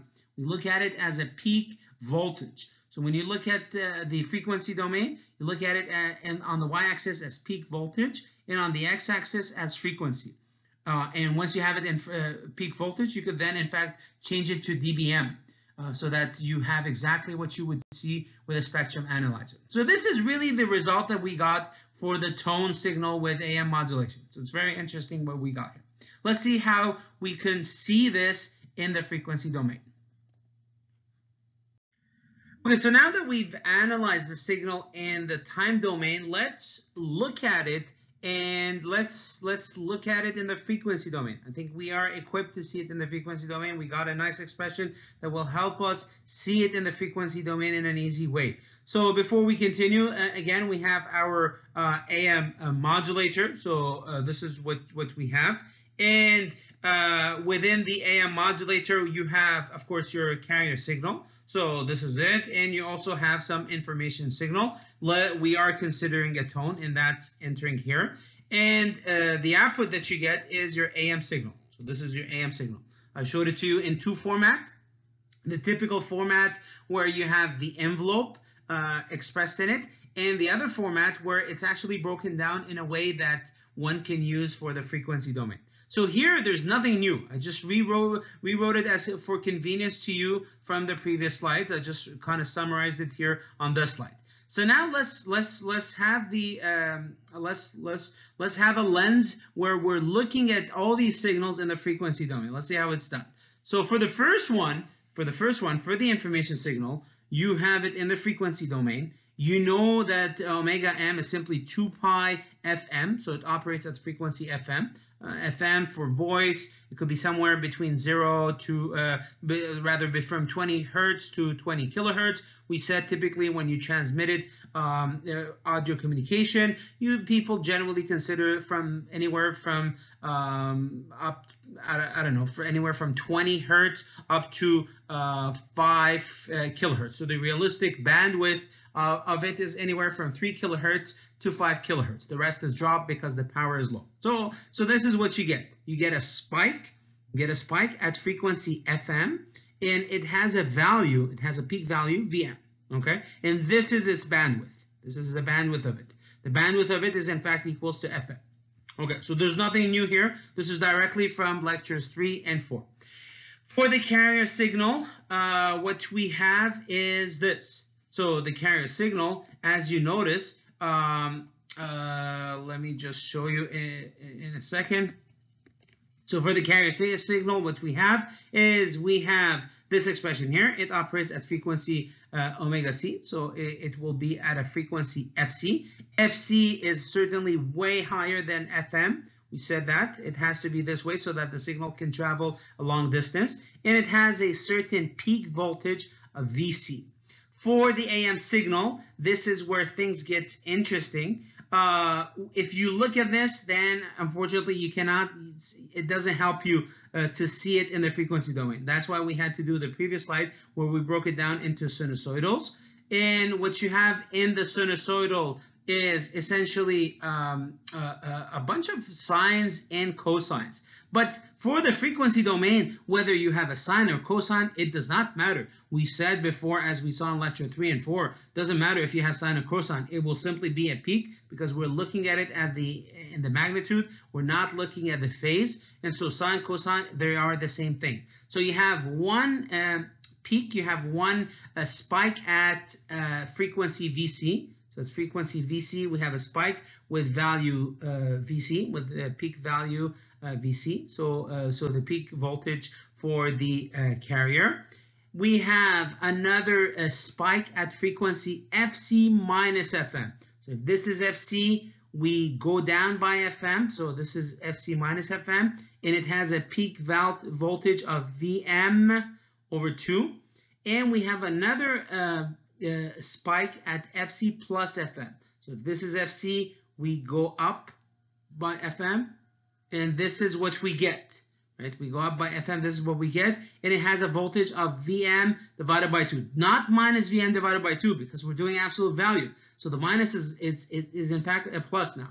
So it becomes like this, and this is what you get. So these two, they are very, they are symmetric to each other, right? So if you look at them, they have the same height, um, and they are FM, uh, a bandwidth of FM away from the center frequency, from the carrier frequency. Okay, and if you check what is the bandwidth, the pass band bandwidth of this signal, well, you go from this point to this point. Okay, so this is the bandwidth, and if you measure it, it's basically two times FM, whereas the baseband bandwidth is simply FM.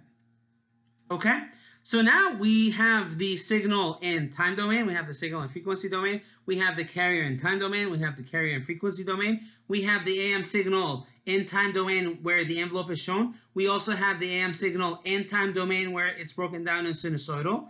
And because of this, we are able to see it in the frequency domain. Uh, and right away, we're able to, once you are in the frequency domain, looking at the bandwidth becomes very easy. So it's just, this is the bandwidth, and this is the bandwidth. It becomes very clear.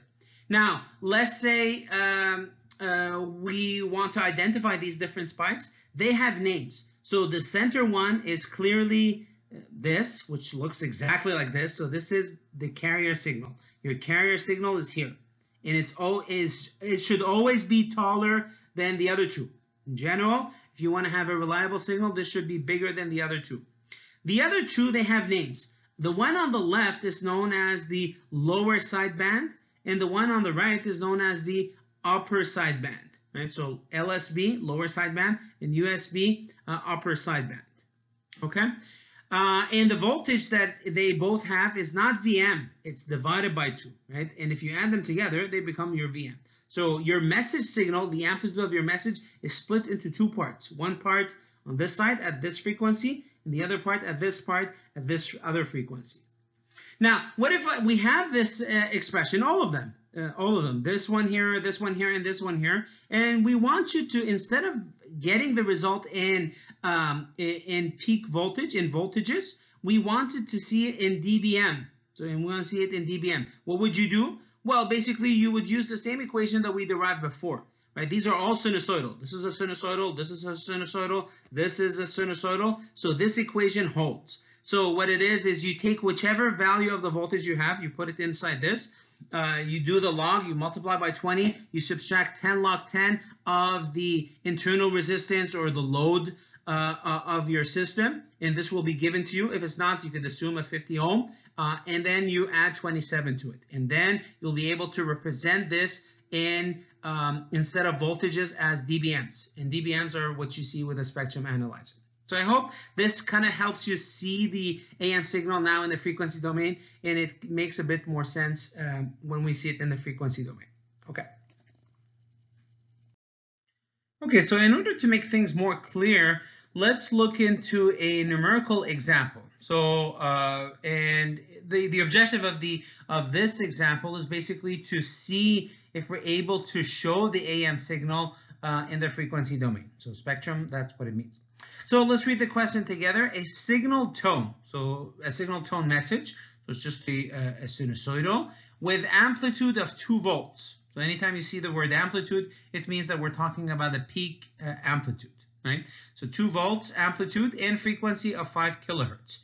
5 kilohertz, that's, like we said, it is um, uh, it is a reasonable uh, bandwidth or frequency for a, um, a sound wave, a sound signal.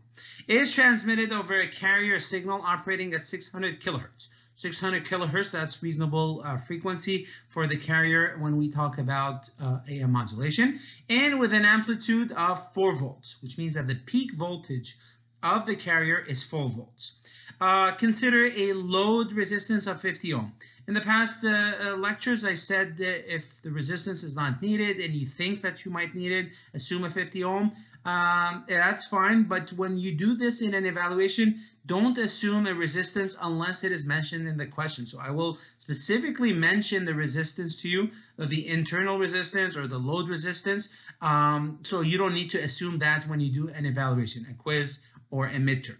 Okay, and now you need to find these four different uh, questions. Question one, express the message uh, signal, the carrier signal, and the AM signal in the time domain. So basically just show us how the, the, uh, the signal is, is expressed mathematically. Plot the spectrum of the AM signal. So we want to see the AM signal in the frequency domain And we want to see it initially as voltages versus frequency, and then later on we could move it into dBm versus frequency. So we do it in two steps. This will help us get the other one. C, find the bandwidth of the AM signal. So what is the bandwidth? Uh, you, we said it is always good to uh, plot the spectrum, and then from the spectrum we will be able to identify the bandwidth. Uh, and then D, can this uh, message signal be detected at the receiver? So it's just a question uh, that we ask we ask you: Can this signal, this AM signal, be detected at the um, uh, not really the AM signal, but can the message embedded in the AM signal be detected at the receiver? So let's go and do this problem together. So next, uh, let's begin with A. Uh, so in terms of uh, finding the um, the the signal for the the message, we said it's a tone. So we know right away it will be a sinusoidal. So it's a sinusoidal. It is expressed like this. It has a certain voltage in a sinusoidal uh, expression. The voltage it is two volts. So you could just write your two here. Sine and then the omega m is simply two pi fm t. Uh, what is FM? Well, FM we said uh, it it is this frequency here. So it is five kilohertz. So that's good. We got this part here. Now let's do express the carrier signal. So for the carrier signal, uh, this is how you would do it. We know that it is also a sinusoidal. Uh, it also has a, um, a peak uh, uh voltage or an amplitude. It is four, four volts and it operates at another frequency. Uh, the frequency is higher than the other one, higher than the, this, um, this message. It is at uh, 600 kilohertz. So that's done as well. The, the third part that we're interested to find is the uh, is expressing the AM signal. So let's see the AM signal. The AM signal, we could write it as such. As we said before, eh, the your message, it is embedded in the amplitude, and this is the, the carrier signal. And if we plug in the value, VC we know it's 4. VM we know this, so we could just rewrite it. And this, we, we could also rewrite this, the, the carrier. And we have all the relevant values here. If we do the multiplication, and we showed you how to do it in uh, previously, essentially it will be uh, three sinusoidals. The first sinusoidal will take care of the carrier signal. So this thing here is exactly your carrier signal. The two other parts are essentially also sinusoidals, uh, but with cosine instead of sine and then one of them will be minus, this one here, uh, the one at the higher frequency. And the frequencies at which they appear is at FC minus FM, FC minus FM, and FC plus FM. We have FC, it is 600. We have FM, it is 5. So 600 minus 5, 595 kilohertz. 600 plus 5, 605 kilohertz. So we have all that. Um, I think with this, uh, we basically answered A. So we pretty much answered question A. We expressed all of them in the time domain. Okay. Uh, in fact, if you would have only showed this, this is fine as well. Uh, but this this view will in fact help us when we move to B, to plotting the spectrum. So this is uh, useful to see uh, the envelope of the signal to see the uh, to see the the envelope of the AM signal, and this is useful because it will help us um, uh, show the this AM signal in the frequency domain, which we will do right now.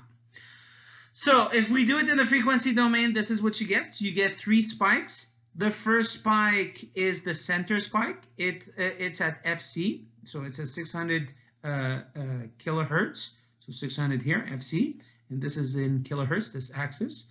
Uh, I put two lines like this, which means that this is a long line. So just to tell you that this is not necessarily um, uh, up to scale. So part of this is chopped. When you see these two lines, it means part of the x-axis is chopped because otherwise it would take a, a, a bigger slide and, uh, and, we don't have that. So that's what these two lines mean. It means that we chop part of the axis. So it's it's a higher frequencies and this is what we see. We see a the center at 600 kilohertz we see the lower side band at 595 kilohertz. We see the upper side band at 605 kilohertz. And now be careful with the amplitude of, uh, of each, of each spike. This one here, the first one, it has exactly the, uh, the, the value for the peak voltage of the carrier. So 4 volts, this is the peak voltage of the carrier, okay? and the other two, they will have half, half of what you have uh, for the peak voltage of the message. It's 2 volts, so you split it in two parts, 1 volt for this and 1 volt for this, and that's what you get. Okay, and uh, so so this is what we got. This is basically the spectrum of the AM signal as voltages versus frequency. Now, um, if we want to see the bandwidth, which is part C, uh, so we still have to do this dBm versus F, but just very quickly for the bandwidth, well, the bandwidth, you could visualize it here. It's between this one and this one. And in fact, the bandwidth will be 2 times FM. So 2 times FM, FM is 5 kilohertz. So 2 times that is 10. If you don't believe me, you could just take this, 605 minus 595, and that's your 10 uh, kilohertz. Okay, so that's the bandwidth of the AM signal. Okay, uh, if I ask you what is the bandwidth of the baseband message signal, it is 5 kilohertz. What is the bandwidth of the AM signal? It is 10 kilohertz. Okay, so you have to, to distinguish between both. Now let's draw the same uh, spectrum, but now in terms of dBm versus frequency. Uh, so if we do that, this is what we get. This is what we get. So we get this result here. Uh, the places where the spike happens is the same. So there's no changes. So this axis is the same. I keep it the same. The values here, however, will be different. Values here will be different. Here, notice that I wrote P uh, AM. So PAM, the power AM, and we're actually measuring it in dBm, power of dBms. And uh, for the message, we could just use the equation that we derived in lecture three, we and that we used in lecture four, and that we were using that we're going to use right now as well. And this equation holds because these things are sinusoidal, sinusoidal, sinusoidal, sinusoidal. This equation holds. So we plug in um, the peak uh, voltage for the message, which is uh, one volt, one volt here. We put it in here, one volt and we put the uh, load resistance, 50 ohms, plus 27. You do the math, it should be 10 dBm. So this is at 10 dBm. You, for the next one, we enter the voltage. The voltage of it is 4 uh, peak voltage. We put it in, we do the math, we get 22 dBm. This thing here is to scale. This is to scale. And this is also to scale. This is 1 volt, 2 volt, 3 volt, and this is 4. This is 10 dBm uh, uh, and uh, all the way up to 22 dBm. So if you notice, it's a bit, it appears larger than this one. It is it appears larger than this one, but nonetheless, it is still shorter than the carrier. That's that's what it is. So it's a bit different because the scale is different. It's in dBms, but this is the output that you get. This is exactly how you would see it with a spectrum analyzer. So we answered B as well. So I think moving from this to this should be straightforward. So in, in, an evaluation, if I ask you to plot in dBm versus F, do it in two steps. Do it like this, uh, and then and then you could just right away change it to to, to dBm. Uh, so it, it it will be way easier to do it in two steps. Okay.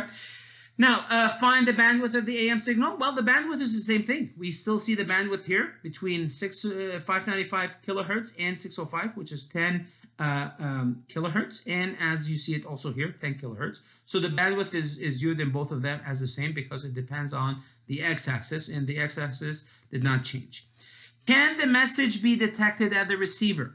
Um, well, in order to answer this, we this is what we need to uh, to do. Well, uh, um, so yeah, sorry, uh, I forgot to, to show you how the bandwidth is found. So it, this is what it is. You can see it uh, graphically, or you could simply multiply two times the uh, uh, the uh, the bandwidth or the frequency of the tone. So two times that is 10 kilohertz, or you can see it in the graph 10 kilohertz. But now let's answer D. So uh, the answer is because this is a wireless communication. So AM, uh, FM, it's wireless communications. There are many random phenomena in wireless communication. So it's really hard to say if the signal will be detected reliably at the receiver. There are so many um, random phenomena that could harm your signal. There's attenuation, there's noise, there's interference, there's distortion, and these are different things that we specifically talk about in the wireless course.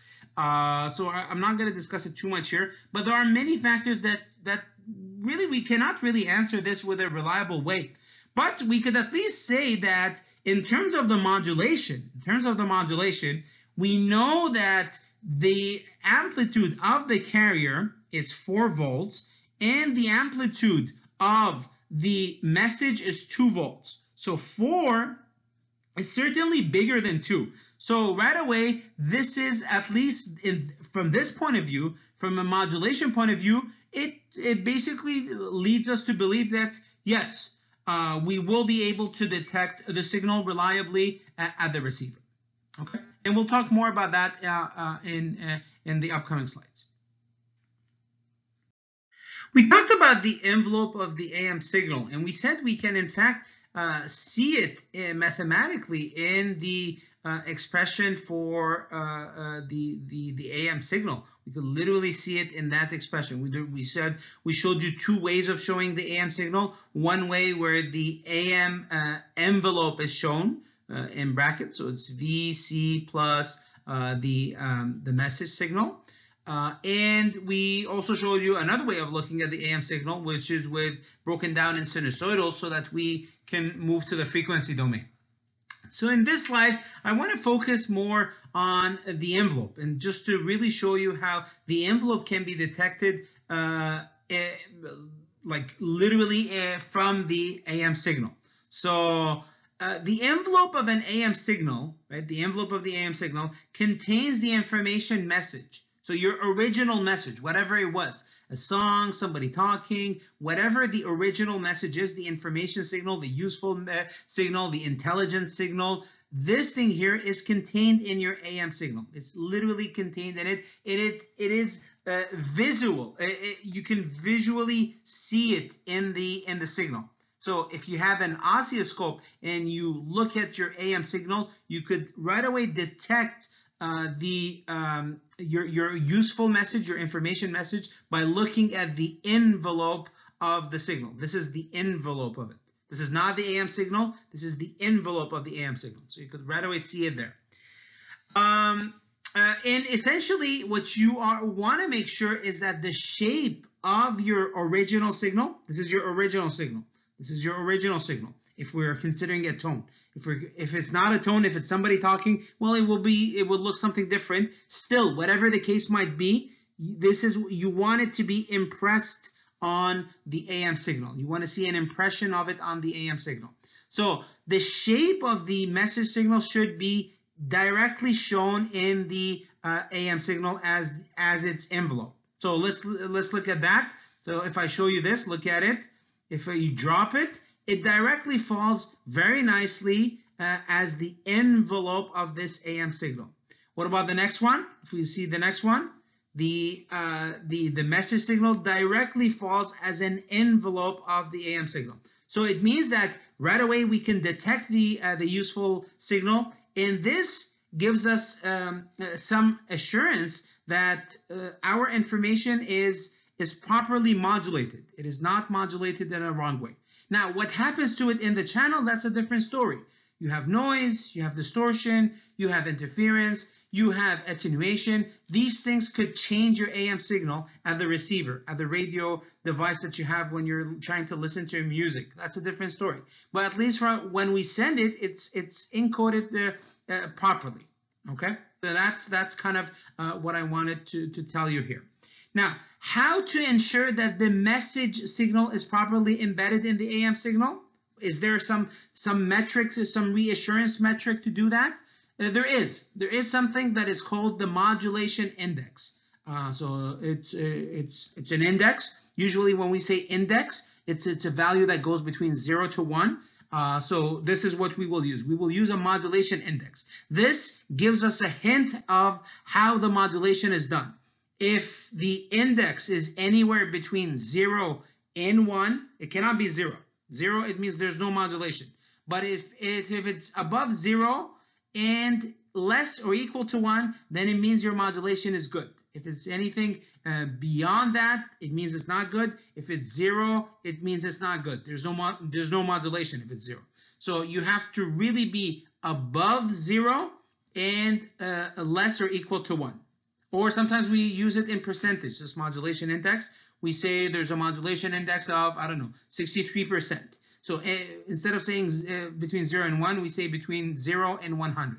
Sometimes we use a percentage. So you should be you might see both of them. So let's define the modulation index related to uh, AM uh, modulation. So anytime we talk about AM modulation, people use this metric, this modulation index, to see if the embedding of the signal is properly done.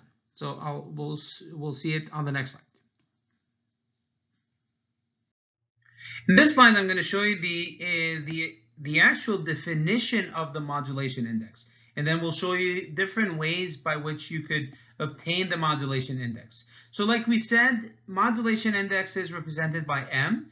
It is a value between 0 and 1 or sometimes between 0 and 100. So whatever results you get, if you multiply by 100, you could show it as a percentage. That's, that's also okay. Um, modulation index can never be a zero. If you have zero, it means you have no modulation. So that's meaningless. So you don't want an m equals zero. That's why it's greater than zero. It's not equal to zero. And modulation index can be one. That's that's also possible. Uh, but it cannot be beyond one. So one is the, the, the maximum you could get. So you have to be anywhere in this range, above zero and less or equal to one. So the, uh, the, the formal definition of modulation index uh, can be written as such. It is the peak of the message signal. So whatever it is, somebody talking, a, a tone, a sinusoidal, whatever it is, go ahead and find the maximum voltage of this uh, signal, and that's what you put at the top. In the bottom, uh, here I made a mistake. I wrote peak amplitude. Peak and amplitude, uh, it's kind of redundant. Uh, peak could be dropped. It is the amplitude of the carrier signal. So a carrier signal will always be a sinusoidal, right? And it has an amplitude. You simply put the amplitude of the sinusoidal in the bottom, okay? And that's that's that. So why did I not write uh, VM here? Because I wanted to show you, because in, in principle, the maximum value of, let's say, a tone is VM. I just wanted to show you in a very generic way, in such a way that it would work for all kind of signals, whether it's somebody talking, which may appear a bit different, um, may appear somewhat random, uh, different peaks, different heights, uh, different elevations uh, of power at different frequencies. And that's why the more uh, better way of representing this would be the, to take the maximum the maximum voltage of the um, of the signal, the maximum voltage of the uh, of the message or useful signal. Okay, so this is the formal definition of what modulation index is. Now let's see how it is for specifically for a single tone. So let's say you have just a sinusoidal. Uh, that this is your information message. Let's see how it looks like. So if you take the maximum of the um, information message, well, it's simply it's V uh, M, right? The amplitude of the sinusoidal. This is how it would look like for a specific uh, tone. When we talk about a single tone, this is what it is. In the bottom, you have the amplitude uh, of the carrier. So it's the amplitude of your message over the amplitude of the carrier. And the limit of it is always between zero, greater than zero, less or equal to one. Okay. Now, let's show you another way of, uh, of detecting it. So let's say you have in front of you uh, on an oscilloscope the uh, time domain. Uh, I mean, that's what an oscilloscope is, right? It shows you the time domain of a signal. It shows you the signal and time domain. And you have it in front of you. This is it. The red line is your AM signal. Um, it won't show you a blue line. This is just a, a rendering on this image, just to help us identify the um, the um, uh, the envelope. Otherwise, on an oscilloscope, you won't see the this blue line. You just see the red line, and then you could kind of imagine uh, uh, the impression of the signal uh, impressed on the, it. And this impression, this envelope, is essentially your your information message. So how can you find m from uh, by looking at it at the oscilloscope? Well, what you could do is you could find the uh, peak point, the highest point of your um, of your AM signal and to the lowest like this. So you can find this uh, highest point, this value, which we call here A, and you can find the lowest value between two uh, between the envelopes. So you could imagine an envelope around your signal, and you could find it. You could put your cursors, and then you could find A and B. And the uh, modulation index is simply A minus B over A plus B. So this is a useful equation when you are using an oscilloscope. Using, using an oscilloscope, you put your cursors, you measure this A, and you measure your B, and then you could assess it this way, and that also gives you the, um, the modulation index this way. Okay, so in reality, uh, what what you should uh, uh, realize is that there are different ways of getting the modulation index. I'll just show you another way uh, as well. Some some other useful uh, things to also recognize uh, when you look at um, when you look at your AM signal is that the maximum the maximum right the maximum voltage the maximum peak voltage of your AM signal it is equal to VC plus VM right VC plus VM in the minimum, the minimum of the envelope, minimum of the envelope is from here, from zero all the way here is VC minus VM. So these are also useful to know, right? So now we kind of gave you different way, different ways to understand M. So uh, in reality, what this means is that you have uh, four, let's say four different ways of getting M. Uh, if you want to find M, the modulation index, and you have an oscilloscope, use your A and B. A and B are useful. If you have an oscilloscope and you're looking at your AM signal, you could use your A and B, uh, activate the cursors, and determine your M. That's one way of getting it. If, on the other hand, um, you have uh, some information about uh, your um, uh, signals, so let's say you have the amplitude of your tone and you also know the amplitude of your uh, carrier uh, signal, you could just go back to the definition you could go back to the definition and use this. And this could help you find M. Uh, if, on the other hand, you are given some information about the signal, but you don't have the actual image of it, you're, you don't have a, a, an image, but you're given some information. You may, for instance, be given the maximum value of the envelope, which is this, VC plus VM, or the minimum value of the envelope, which is VC minus VM. If you're given this, you could use these two uh, and you could use the definition and then work your way to finding M with this, with this, with this. Sometimes you're not giving any of this. You're just giving um, a result that you see, let's say, with a uh, spectrum analyzer. In a spectrum analyzer, it will show you uh, on the x-axis you have frequency, on the y-axis you have uh, the, um, the, the power, uh, the the value in power in dBm. So if you have a D, you have different spikes. For each spike, you could identify the carrier spike. So the carrier spike should be larger, should be larger. And you have the dBm of the carrier spike. And you also have the uh, dBm uh, uh, power for the smaller side uh, side bands, right? The lower sideband and the upper sideband, LSB and USB.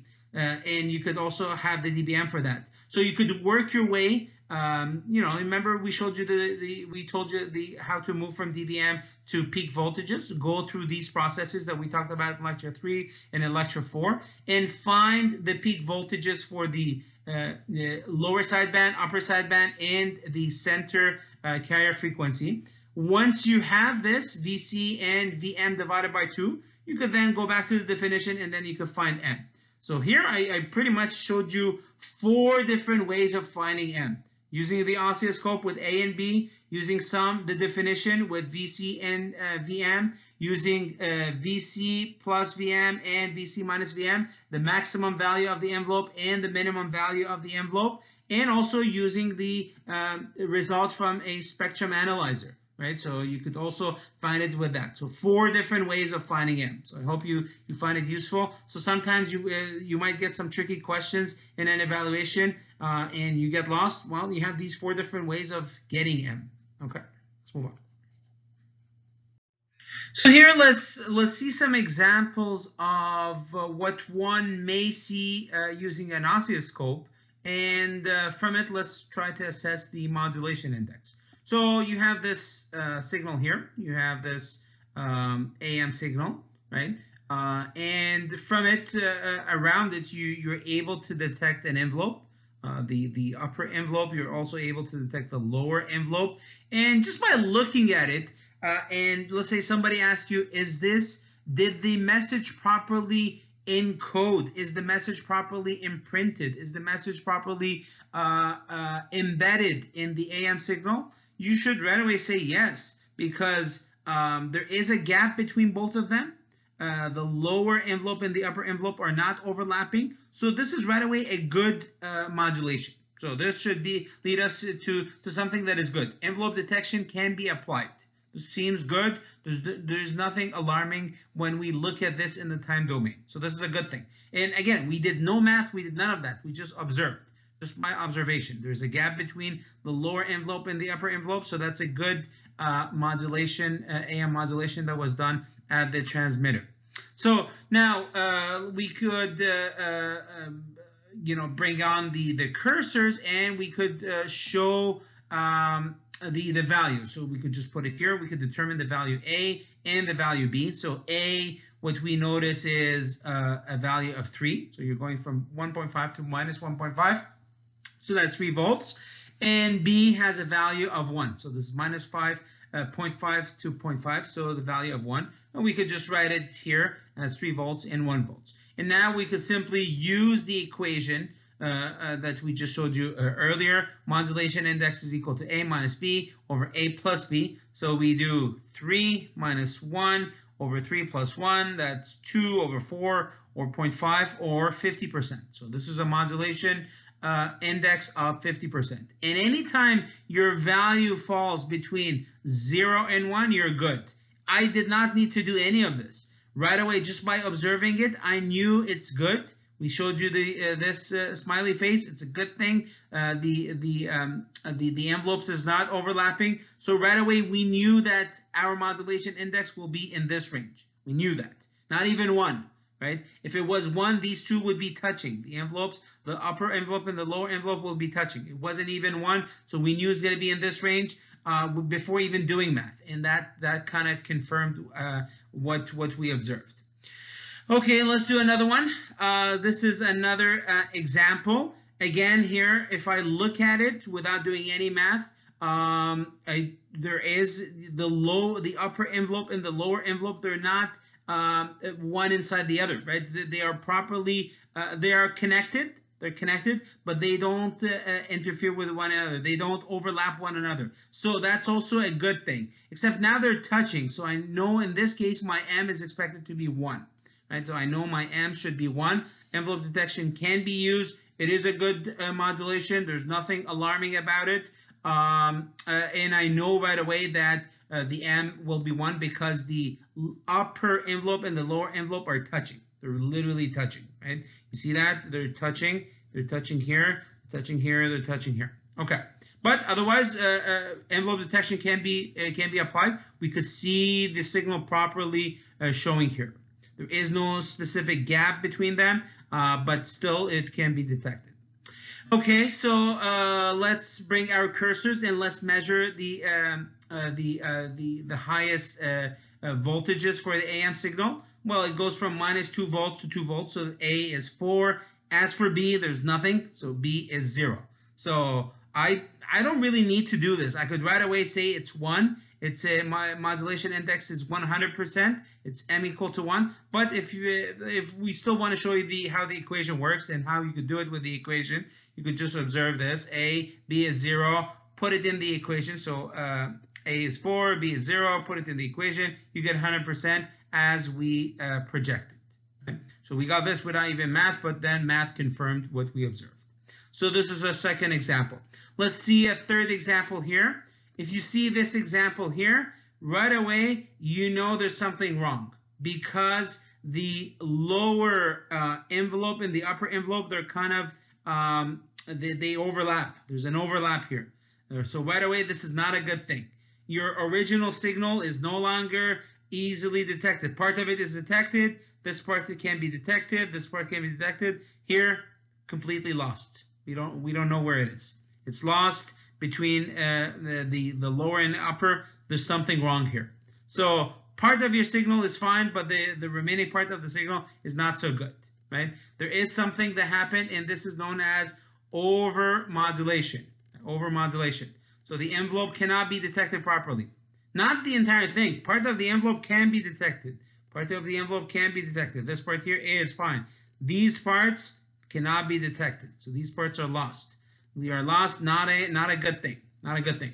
Uh, and M certainly will be, uh, in this case, because we know there's an overlap between the upper um, envelope and the lower envelope, we know for sure m should be greater than 1.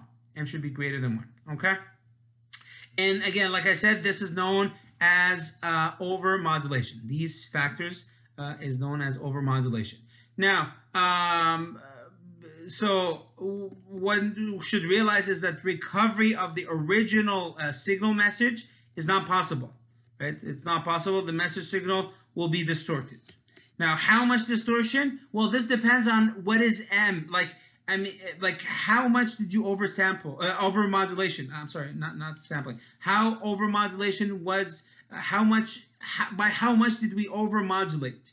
This, if this is, if the overmodulation is too high, really, really too high, that means the distortion is very high. It's too, the distortion is highly uh, distorted. If, if it's less, then it's less distortion. In this case, you see distortion here, but the rest of the signal is fine, right? The rest of the signal, it's fine. There's nothing wrong with it. Only these areas here, there's distortion. So um, we don't really, you don't necessarily need to know this, but somebody might ask you, well, how do you measure how much you oversampled? The metric that we showed you, right? So we showed you the metric uh, using m equals to Vm over Vc or um, m is equal to a minus b over a plus b. These only apply when m is between 0, greater than 0, and less or equal to 1. It doesn't work when m is greater than 1. Does not work for that, so be careful. Does not work for that. But let's say you want to find it for this. What is M for this such a case when we have overmodulation? So what you could do is this is not this is kind of off the record, but you could still I could still tell you how it's done. So what you do is you essentially find this, find this, right?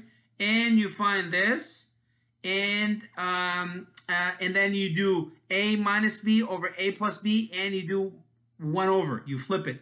So this here is what? Minus 2.5 to 2.5. So this value is 5. This value of overlap is um, uh, is is 1, right? It's 1. Uh, so this could be your A. A is 5. And your B is, in fact, a 1. And what you do is you still use the same equation. You do uh, 5 minus 1 over 5 plus 1. So that gives you 4 over 6. Or if you simplify, that's 2 over 3. And now you do the 1 over of. 1 over of. So you'll end up with 3 over 2. And therefore, this overmodulation, it has an, an index of 150. So 1.5, 150. So these this equation will not work, you, but you can still kind of tweak this equation to make it work when m is bigger. And basically you do the same thing. This would be your b, this would be your A. You enter it here, but you do minus minus 1 over. You do minus, uh, 1 or 1 over. You flip it, uh, and you could get it. In other words, you could do A plus B over A minus B, where this is your A and this is your B. Okay, so this is only a special case when m is greater than 1. Otherwise, these equations that I showed you on the previous slide in here, they only apply for m uh, greater than 0 and less or equal to 1. Okay, here we want to show you how to find the power of the AM uh, signal. So in order to do this, I'm going to just recap. So this is just a review of what we've done uh, before. So I'm just rewriting the AM signal in the time domain in the format where we have the envelope and in the format where we break it down in sinusoidals. Right, so this is the envelope in sinusoidals, and we said this one here is useful to when we move to the frequency domain. Also, anytime we work with power, it's always useful to look at it in the frequency domain uh, because um, if you have a spectrum analyzer, the value of the spikes, this is basically your power. But in this case, these are voltages, and we know that the carrier will have a voltage, uh, uh, this, VC, and the lower sideband and the upper sideband, each of them will have a voltage uh, Vm divided by 2. So this is specifically for uh, the, the tone. This is how it looks like. So how do we get the power of this uh, AM signal? Well, it's just straightforward. You find the power of this signal, you find the power of this signal, you find the power of this signal, and then you apply superposition. And we said what superposition is. You just add the different powers. Power of this spike, power of this spike, power of this spike, and this gives us the power of the uh, AM signal. That's it. There's nothing to it, right? So uh, let's just do it together and uh, let's let's see how it's done. So um, one way of doing this, of course, is to use what we've talked about before. So find the power of each sinusoidal spike uh, and add them together. Apply superposition. This is kind of what we did in lectures 3 and lecture 4, right? And we said there are five steps. So you have the peak values. This is the, the peak value of this one is Vm divided by 2. The peak value of this one is Vm divided by 2. The peak value of this one is Vc. So you find the peak values of each spike. You move to RMS. How do you move to RMS? They, they are all sinusoidals. So when you move to RMS, you take the peak value and you divide by square root of 2. Once you have the RMS, then you can find the average uh, power. And the average power is basically just applying Watt's law, which is V squared, uh, and that's the RMS, this, divided by, let's say, uh, uh, the resistance, the, re the load resistance or the internal resistance of your system. And that finds you the average power. Okay, and once you have the average power, you could just find it in dBW. And once you have it in dBW, you can find it in dBm, right? You just add 30 to it. Or we, you could just use the equation that we showed you multiple times in lecture 3, 4, and earlier in this lecture. So that's one other way of defining the power of the signal. You could do it for each of them and then add it together, and that finds you the power for the signal. Um, now let's let me show you how it's done uh, with an index. So how can we find the total power of the AM signal, uh, but now where we actually have in the equation the modulation index. So let's see how to do that. So again, like we said, when you want to find the uh, power of the AM signal, uh, by definition, and let's say we're doing this for the tone, you add all the different spikes. So you add PC. PC is the power of the carrier, this one here. PLSB, the power of the lower sideband. PUSB, the power of the upper sideband. So you just add all of them. So that's just by definition. Then what we observe is the following. The power of this one and the power of this one is the same. So why do I do it twice? I could just do two times uh, P LSB, or if you don't like LSB, you want to do it with USB, that's fine. You can do two times P USB plus PC. That's just the simplification, just to make our life a bit easier. Okay. Next step, what we do is we find the RMS value of the peak, right? The RMS value of the peak. We square it and we divide by the internal resistance or the load, okay, uh, of the system. As for the other one, we multiply by 2 and we find the voltage of the lower side band or if you work with the upper side band, you could find the, the voltage of the upper side band, but now not in peak, in RMS, in RMS, and you square it and you divide by the load resistance or the internal resistance. Okay, so let's uh, continue. We said that RMS, anytime you work with RMS, is whatever peak value it is. Because it's sinusoidal, the RMS of a sinusoidal is always the peak of each corresponding one divided by square root of 2. So I do that. You square it, divide by uh, the uh, load resistance, uh, plus 2, uh, Vm. Uh, here, notice what I do. This is Vm divided by 2. That's why there's a 2 here. It's Vm divided by 2. It's not just Vm. The, the peak value of this one is Vm divided by 2. Be careful here. Okay? Vm divided by 2, and I, I then divided by square root of 2, so it becomes like this. Squared divided by, by this and uh, I could just maybe clean up a bit some stuff. So clean up the the uh, the equation, and um, I get VC squared over 2 uh, R, 2 uh, times the resistance.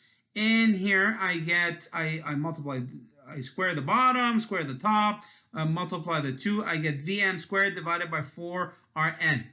Now, uh, if you look at this, this expression here, this expression here, this is your power for the carrier. This VC squared over 2Rn is the power for this one, for the carrier uh, signal. So this is PC, and then the rest is this. Now, I opened a sidebar.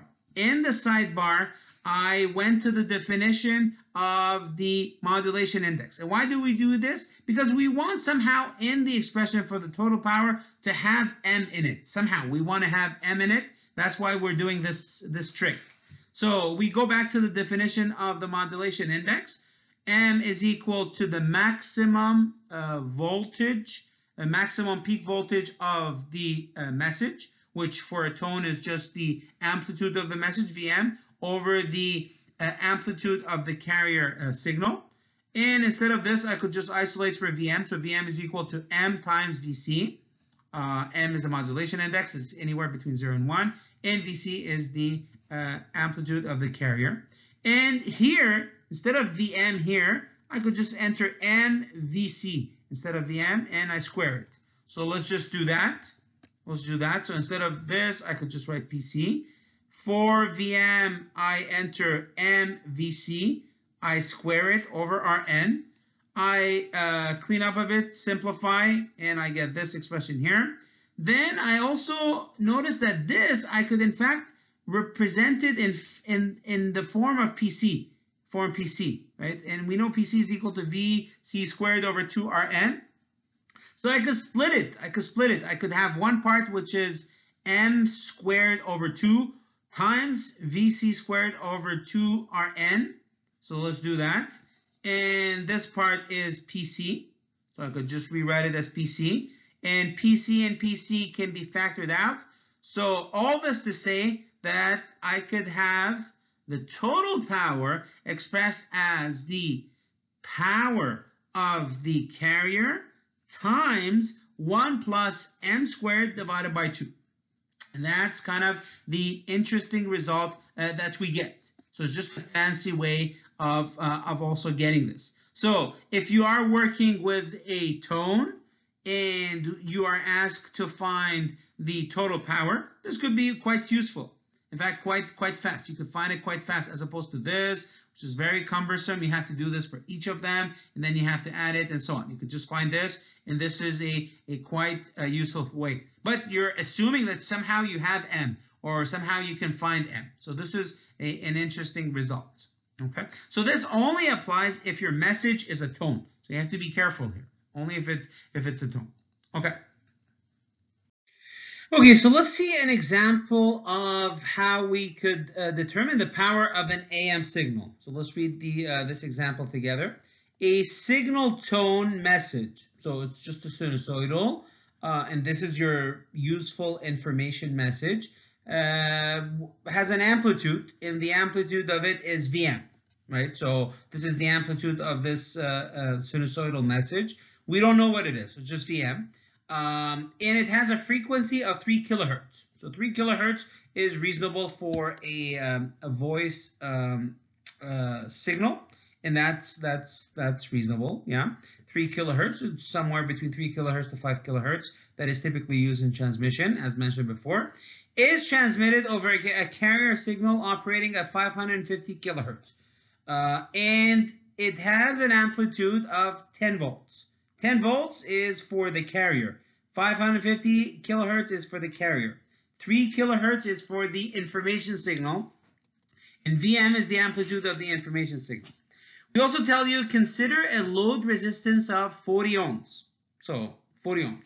Usually we use 50. Here we're giving you 40 ohms. And we also tell you that assume uh, an AM modulation index of 100%. So what does this mean, 100%? Well, it basically means that the modulation index is 1. It's just 1. It means that the envelopes are touching, like we saw uh, in uh, two slides ago. They're touching. And we give you three questions. What is the value of VM? How do you find the value of VM? That's the first question. The second question, find the uh, power of the carrier. Find the power of the lower side band. Find the power of the upper side band. Find the total power find the bandwidth of the AM signal. So all this is asking B. In C, we ask you to plot the spectrum of the AM signal. But here we're being nice to you. We just tell you to plot the spectrum as voltages, peak voltages versus frequency, not dBm, not dBm. But then again, if you were to, to find it in dBm, you could just use the equation that we derived. So that that's not the, a nightmare as well. So you could use it. And in fact, we showed it in the previous uh, numerical example earlier on in, in the slides. So let's let's do it together. So um, uh, A, find the value of Vm. Well, uh, before we begin, I'm going to just rewrite the information that we found in a nice way. So I'm just uh, uh, rewriting everything. uh, in a nice way, and then we could begin. It's it's like when you let's say you want to cook a, pizza or a cake, you prepare all your ingredients nicely on the table. Uh, all the measurements is done, and then you could do your magic. You could mix and match the stuff and prepare your dough or whatever you're doing. Same thing here. We just prepare all the data that we have nicely, and then we will use this data. So what do we have? We have for the uh, message signal uh, VM, we don't have a value. We have the frequency, it's 3 kilohertz. For the carrier signal, we have the amplitude of 10 volts. And we have the carrier frequency of 550 uh, kilohertz, which is reasonable for AM. We have the modulation index of 100% or 1. And we have a load resistance of uh, 40 ohms. 40 ohms is provided to us. Now we want to find VM. Now, if we go back to the definition of M, the modulation index, the modulation index, by definition, is equal to this, right? The For a tone, it's equal, and we showed it to you, it's equal to the amplitude of the uh, message signal over the amplitude of the carrier, which is equal to 1, because we're giving it to you. We're telling you it's 100%. It's 1. And what this means is that Vm is equal to Vc. So your amplitude of the message is equal to the amplitude of the carrier. Do we know the amplitude of the carrier? We do. It's 10 volts peak. So that's what it is, 10 volts. So we got the first one. A is done. We got it. Okay, uh, next, B. B, we want to find PC, PL, PLSB, PUSB, PT, and the bandwidth. But we notice in C that we're also asked to do the spectrum. So maybe it's always a, a, good idea to actually draw the spectrum, the spectrum, and then as we draw the spectrum, this will be useful to, to find these ones. I told you anytime we, uh, at least for me, anytime I try to find the power of certain um, uh, uh, of certain uh, signal, uh, uh, sometimes it is, like we said, it is not a bad idea to use your uh, frequency domain to find it. It's very, it could be helpful. that's why instead of doing B, I jump right away to C. So um, let's do C first, and then we'll go back to B. So here we ask you to do the spectrum of the AM signal. It's an uh, AM signal. We know it's going to have uh, three spikes uh, because it's a tone, lower sideband, upper sideband, and the carrier the carrier is at um, the frequency FC, so 550 kilohertz. The lower sideband would be the same thing, 550 minus the uh, frequency of the message. So minus 3, 550 minus 3, that's at 547. Uh, the upper sideband would be 550 plus 3, so that's 553. All of them are in kilohertz, right? That's why the line has kilohertz. And uh, the value, the, the peak voltage of the carrier is 10 volts. So this is 10 volts. And the uh, peak voltage for the lower sideband and the upper sideband, it's Vm divided by 2.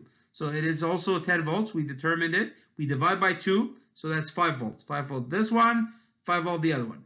And uh, so now we pretty much have everything.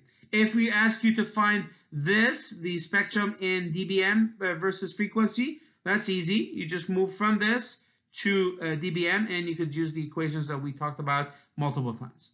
But here we don't ask you to do that, so that's fine. So we got uh, A, we got C. What is left is B. Let's, let's go and see how we could do B. So B, we ask you to find PC, the power of the carrier.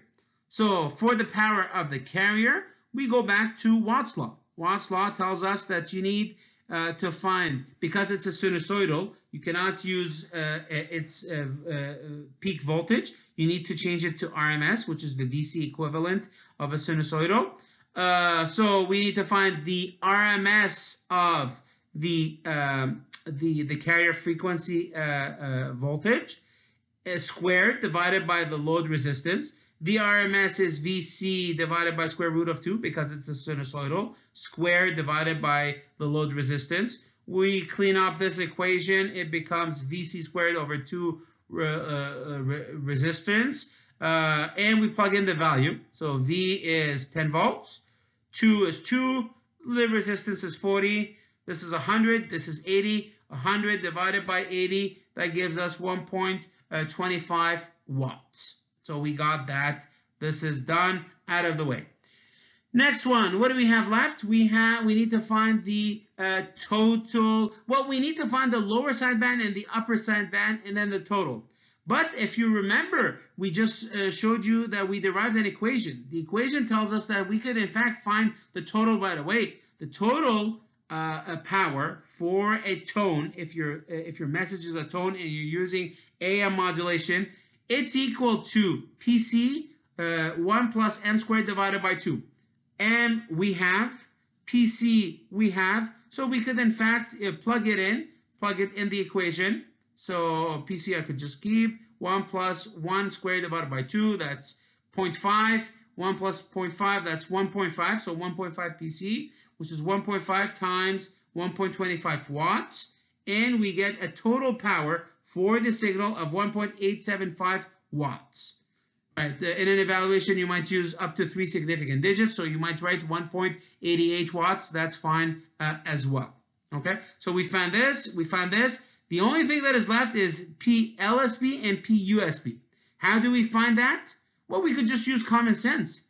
We know the total, we know this, we could subtract uh, one from the other. We could take this, subtract from this. What is left is the power for these two we simply divide by 2. Part of it will come to this one, part of it will come to this one. So again, we could go back to definition of total power. Total power through superposition, we know is the power of this one, plus the power of this one, plus the power of this one. Or we said we could be smart about it and just add this in 2 times this or 2 times that. That's why we do this.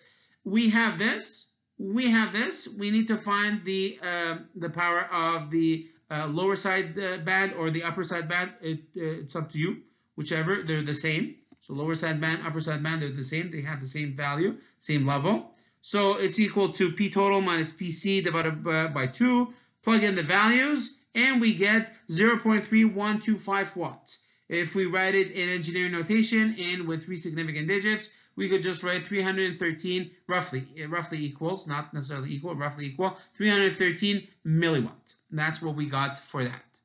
So th that answers uh, all of them. We answered all of them. The only thing left is the bandwidth. What is the bandwidth of the AM signal? Well, you can see it here in from the spectrum. You could uh, basically, it is two times FM. Two times this, which is basically six uh, kilohertz. But if you don't want to do that, you could you could do it here. You could do 553 minus 547, and this here is your bandwidth for the AM signal, and it is equal to 6 uh, kilohertz. Okay, so we do it here uh, for you. At this point, I'd like to show you different AM modulation schemes. Uh, there's a variety uh, uh, of these modulation schemes that exist, and they essentially uh, are, are mi minor variations of each other. Uh, and the reason for doing these minor variations is really in order to, to make the communication more efficient. Uh, efficiency comes in when we spend less power in uh, uh communicating a signal. And that's that's how uh, efficiency is is ensured. So so let's see how we could make the communication more efficient. So it has terminologies, and I'm going to explain you the terminologies. So there is one terminology that you might end up hearing in AM modulation, and it is known as DSBFC. Um, it's just a, a jargon that stands for double sideband full carrier. In fact, all that we've done so far in this lecture is this. Double sideband, you have a sideband on each. This is one sideband, this is another sideband, both of them, and that's why they're double sideband. And there is a carrier. You see the carrier visibly shown here and that's what it means. So it's a double sideband full carrier, and this is basically what we did uh, so far, okay? There is another one uh, that exists, and it is referred to as double sideband suppressed carrier, or DSB uh, SC. What it means is it's quite similar to this one, quite similar to this one, right? So the spectrum is very similar to this one. The major difference is that the carrier is not shown. So you cannot see the carrier, right? The carrier, nowhere to be seen. It is not here. So you're not going to spend uh, power transmitting the carrier, right? The carrier is there, right? The carrier is there. It's part of these um, side lobes, um, uh, side bands rather, uh, but but it, it's there is no specific spike for it. There, it's not a, dedicated. Uh, it's not a dedicated component for it, and that's why it says suppressed carrier. And the reason for that is again to to make the communication more efficient. You'll be spending less watts uh, setting, uh, dealing with a, uh, the carrier component on its own. Okay, the bandwidth doesn't change. The bandwidth for DSB-SC and for a typical DSB-FC uh, is the same. The bandwidth does not change. It is 2 FM and it is 2 FM here. Okay, so let's see how the system actually looks in such a case. For a DSB-SC, uh, the system, the way it looks is, is like this. Um, it's really, really just a mixer in this case. Uh, and when we mix, we really multiply. So we just take a an input signal, your, your message signal, and you have an oscillator that generates a carrier signal, and you just multiply them together. So you have uh, your your, uh, your, your message signal, so VM of t, and you have your uh, um, uh, carrier signal, so VC of t, and you literally just multiply them together. You don't do anything else to it. You don't do a DC offset like we did here. You don't do none of that. Uh, and the result that you get is essentially your DSB FC. So let's just uh, show it to you here. Um, so we take the message. So let's assume you have a tone. You have a tone. So it's the VM and this. And you have your carrier signal. And so I multiplied, I put the, uh, the, the amplitudes together. Uh, so you have your message multiplied by the carrier, put the amplitude together. This is what we get. And if we use the trigonomic uh, identity that we showed you before, which is if you have sine A times sine B, it's equal to 1 over 2 cosine of A minus B minus cosine of A plus B. I just apply it to this, and this is what we end up getting. We get Vm times Vc divided by 2 cosine of um, uh, this, so Fc uh, so if, if I, instead of writing the, the radio frequency, fc minus fm, minus 2 pi fc plus fm. And if you look at this, look at this, this is your AM signal under DSB-SC, suppressed carrier. This is exactly what you have, right? So you have two spikes, one spike, another spike. The minus is, we don't care about it, right? It's absolute value, so it goes away. Uh, cosine, sine, it doesn't matter. It will be a spike nonetheless. This spike happens as fc minus m. This spike happens as Fc plus M. And the value of the spike is Vm times Vc divided by 2. Be careful about this. It's not just Vc divided by 2. It's Vm. It's not just Vm divided by 2. It's Vc times Vm divided by 2. Right? This one here is just Vm divided by 2. And that's what we get. Okay? Let's show you a third uh, one. Um, so in principle, this should be a more efficient, right? Because this one, you're not spending any watts on, on, on the carrier uh, component by itself. And it should be more efficient, this one. So let's see another one. There is another one which is referred to as single sideband suppressed carrier or SSB-SC. So DSB-FC, DSB-SC, So these are terminologies that people sometimes use. But uh, I assume uh, when you see it for the first time, it, it seems a bit confusing. So that's why we're showing you uh, the, uh, the, the details of it here. So uh, for this one, what it means is, in so here, all of them, they had double sideband. So double sideband, one sideband, another one, one sideband, another one. Uh, full carrier, the carrier, you have it. Suppressed carrier, the carrier is gone. Here, you still have suppressed carrier. So it's very similar to this one carrier is gone. But now instead of using double sideband, you just use one of them. That's why it's called single sideband. So this one here, it's very similar to this with a minor uh, variation, just a minor variation. Instead of sending both uh, uh, uh sidebands, you just send one of them. And that's smarter, right? Why would you need to send both of them? You could just send one of them and and and, that's it, right? So you will uh, uh, the, the the power will jump, right? You don't need to have more than that. Uh, you could replicate the other from from this one, right? So you don't need to send both of them, right? It's just it's just it's not very smart to send both of them, okay? Uh, and that's what you get. And in here, what is also interesting with SSBSC suppressed carrier, your bandwidth drops. The bandwidth here becomes smaller. The bandwidth of this one is just FM. The bandwidth of this one is 2 FM. The bandwidth of this one is 2 FM. And like we said in communications, you want to make sure that uh, you use um, less bandwidth so, that, so that you could enable more, uh, more smarter utilization of your channel, right? You could have more users, you could have more ch channels, you could have more uh, flexibility there. So uh, having a smaller bandwidth, this is good. You're using less bandwidth, uh, it will be more economical as well. Okay, so let's see uh, what, what, what, how is it different from this one? So pretty much it's the same architecture. You have basically your signal that you send, your uh, your VM. You have your uh, oscillator that generates a carrier signal. The only difference is that you use a B, BPF, a bandpass filter, to filter out one of the bands. If you want, you could keep this one. You could keep the USB and you remove the LSB by a filter. You filter it out. You just put a filter around this one, so you keep it, or you keep a filter around here, so you keep this one, and then the other one is gone. You just use a bandpass filter. We talked about bandpass filter earlier in this lecture. Okay, and this is what, what gets in the output. So how would the uh, the signal look like? This is how the signal looks like, right? So uh, essentially uh, one of them is gone. So it's either this one or this one. And that's why I put minus or plus because maybe somebody will want to keep the minus FC minus FM, which is this one. So if you have the minus, uh, it's basically you're keeping the LSB. And if somebody has the plus instead of the minus, you're keeping the USB, but not both of them. Okay, and the uh, the peak voltage of it is again Vm times Vc divided by two, like this one. Right, so be careful. The all of them they are not quite like this one. This is Vm divided by two. Now you, you have a Vc here. So this actually uh, uh, could be uh, uh is is certainly more efficient, right? So uh, in terms of efficiency, this is less efficient because you're sending the carrier.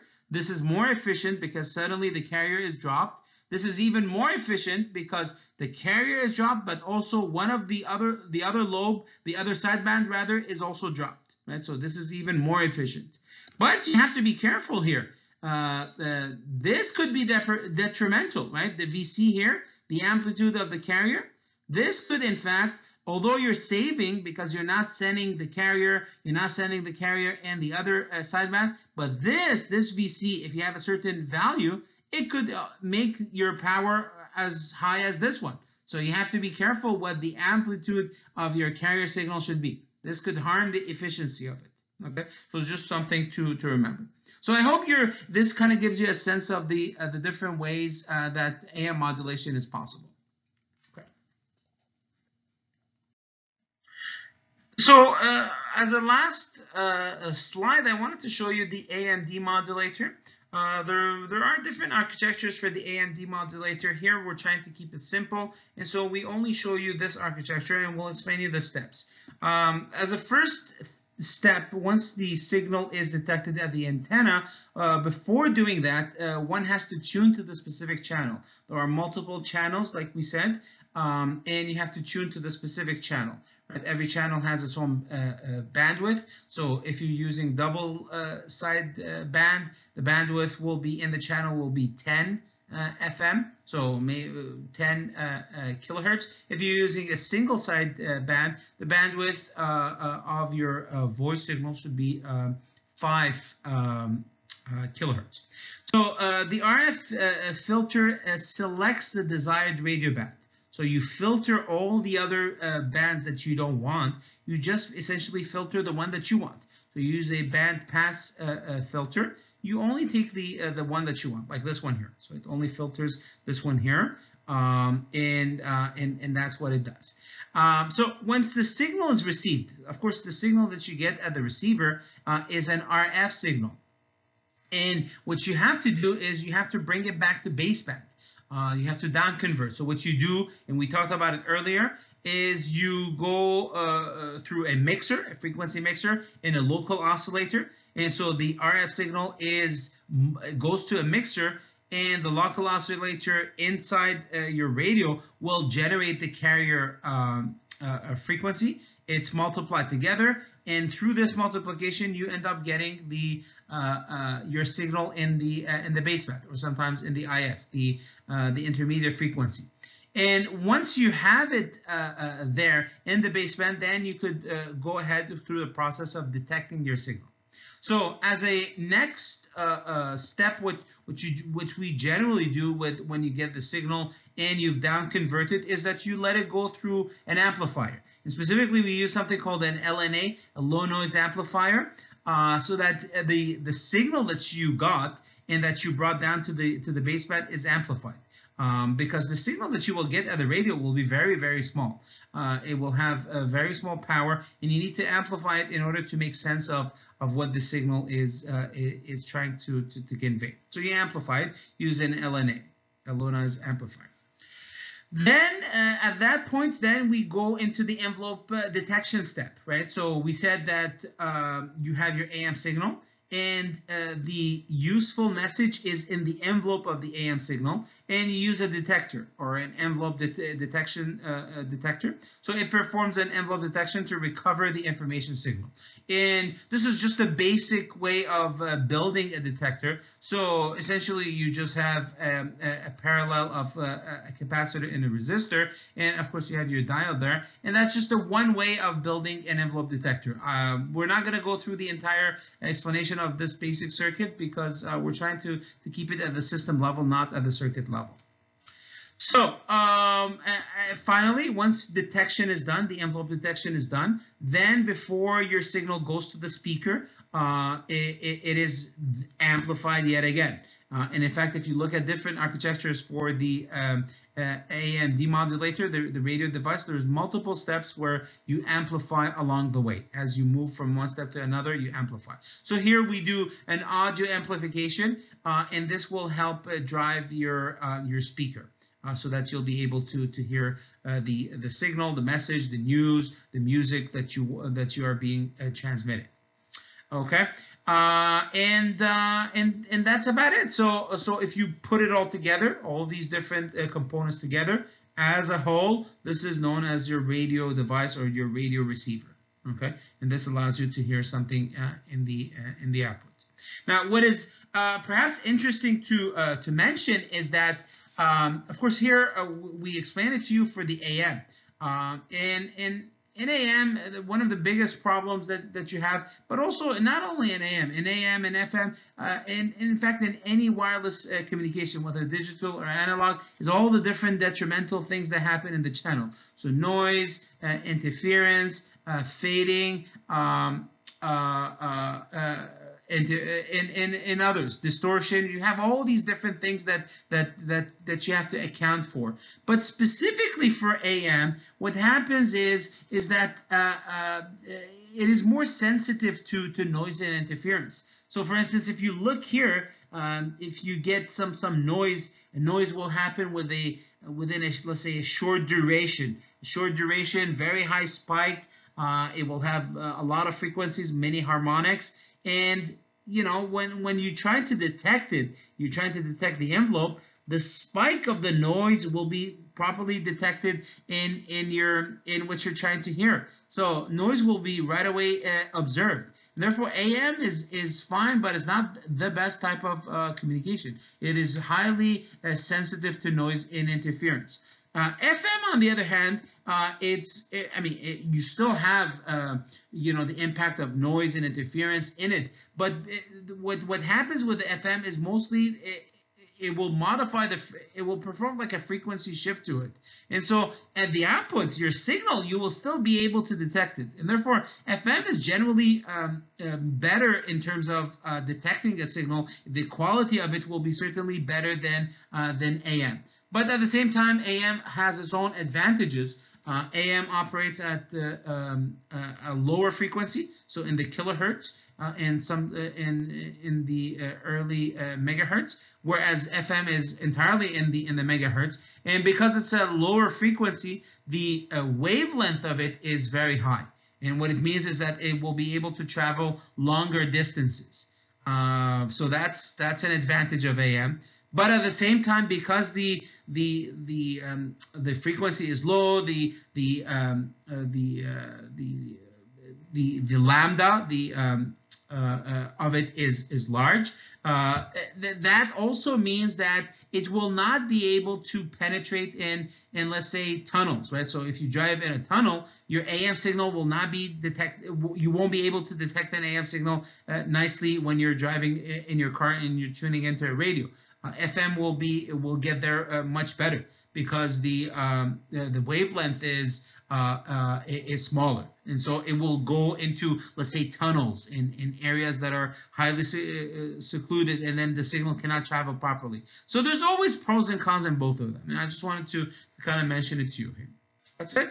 Uh, so just let's keep uh, uh, this in mind that AM is more sensitive to noise uh, and interference, and you can see it right away here. The uh, the spike of noise is, is, directly seen here because of uh, direct influence to the envelope. Thank you for your attention, and good luck with your studies.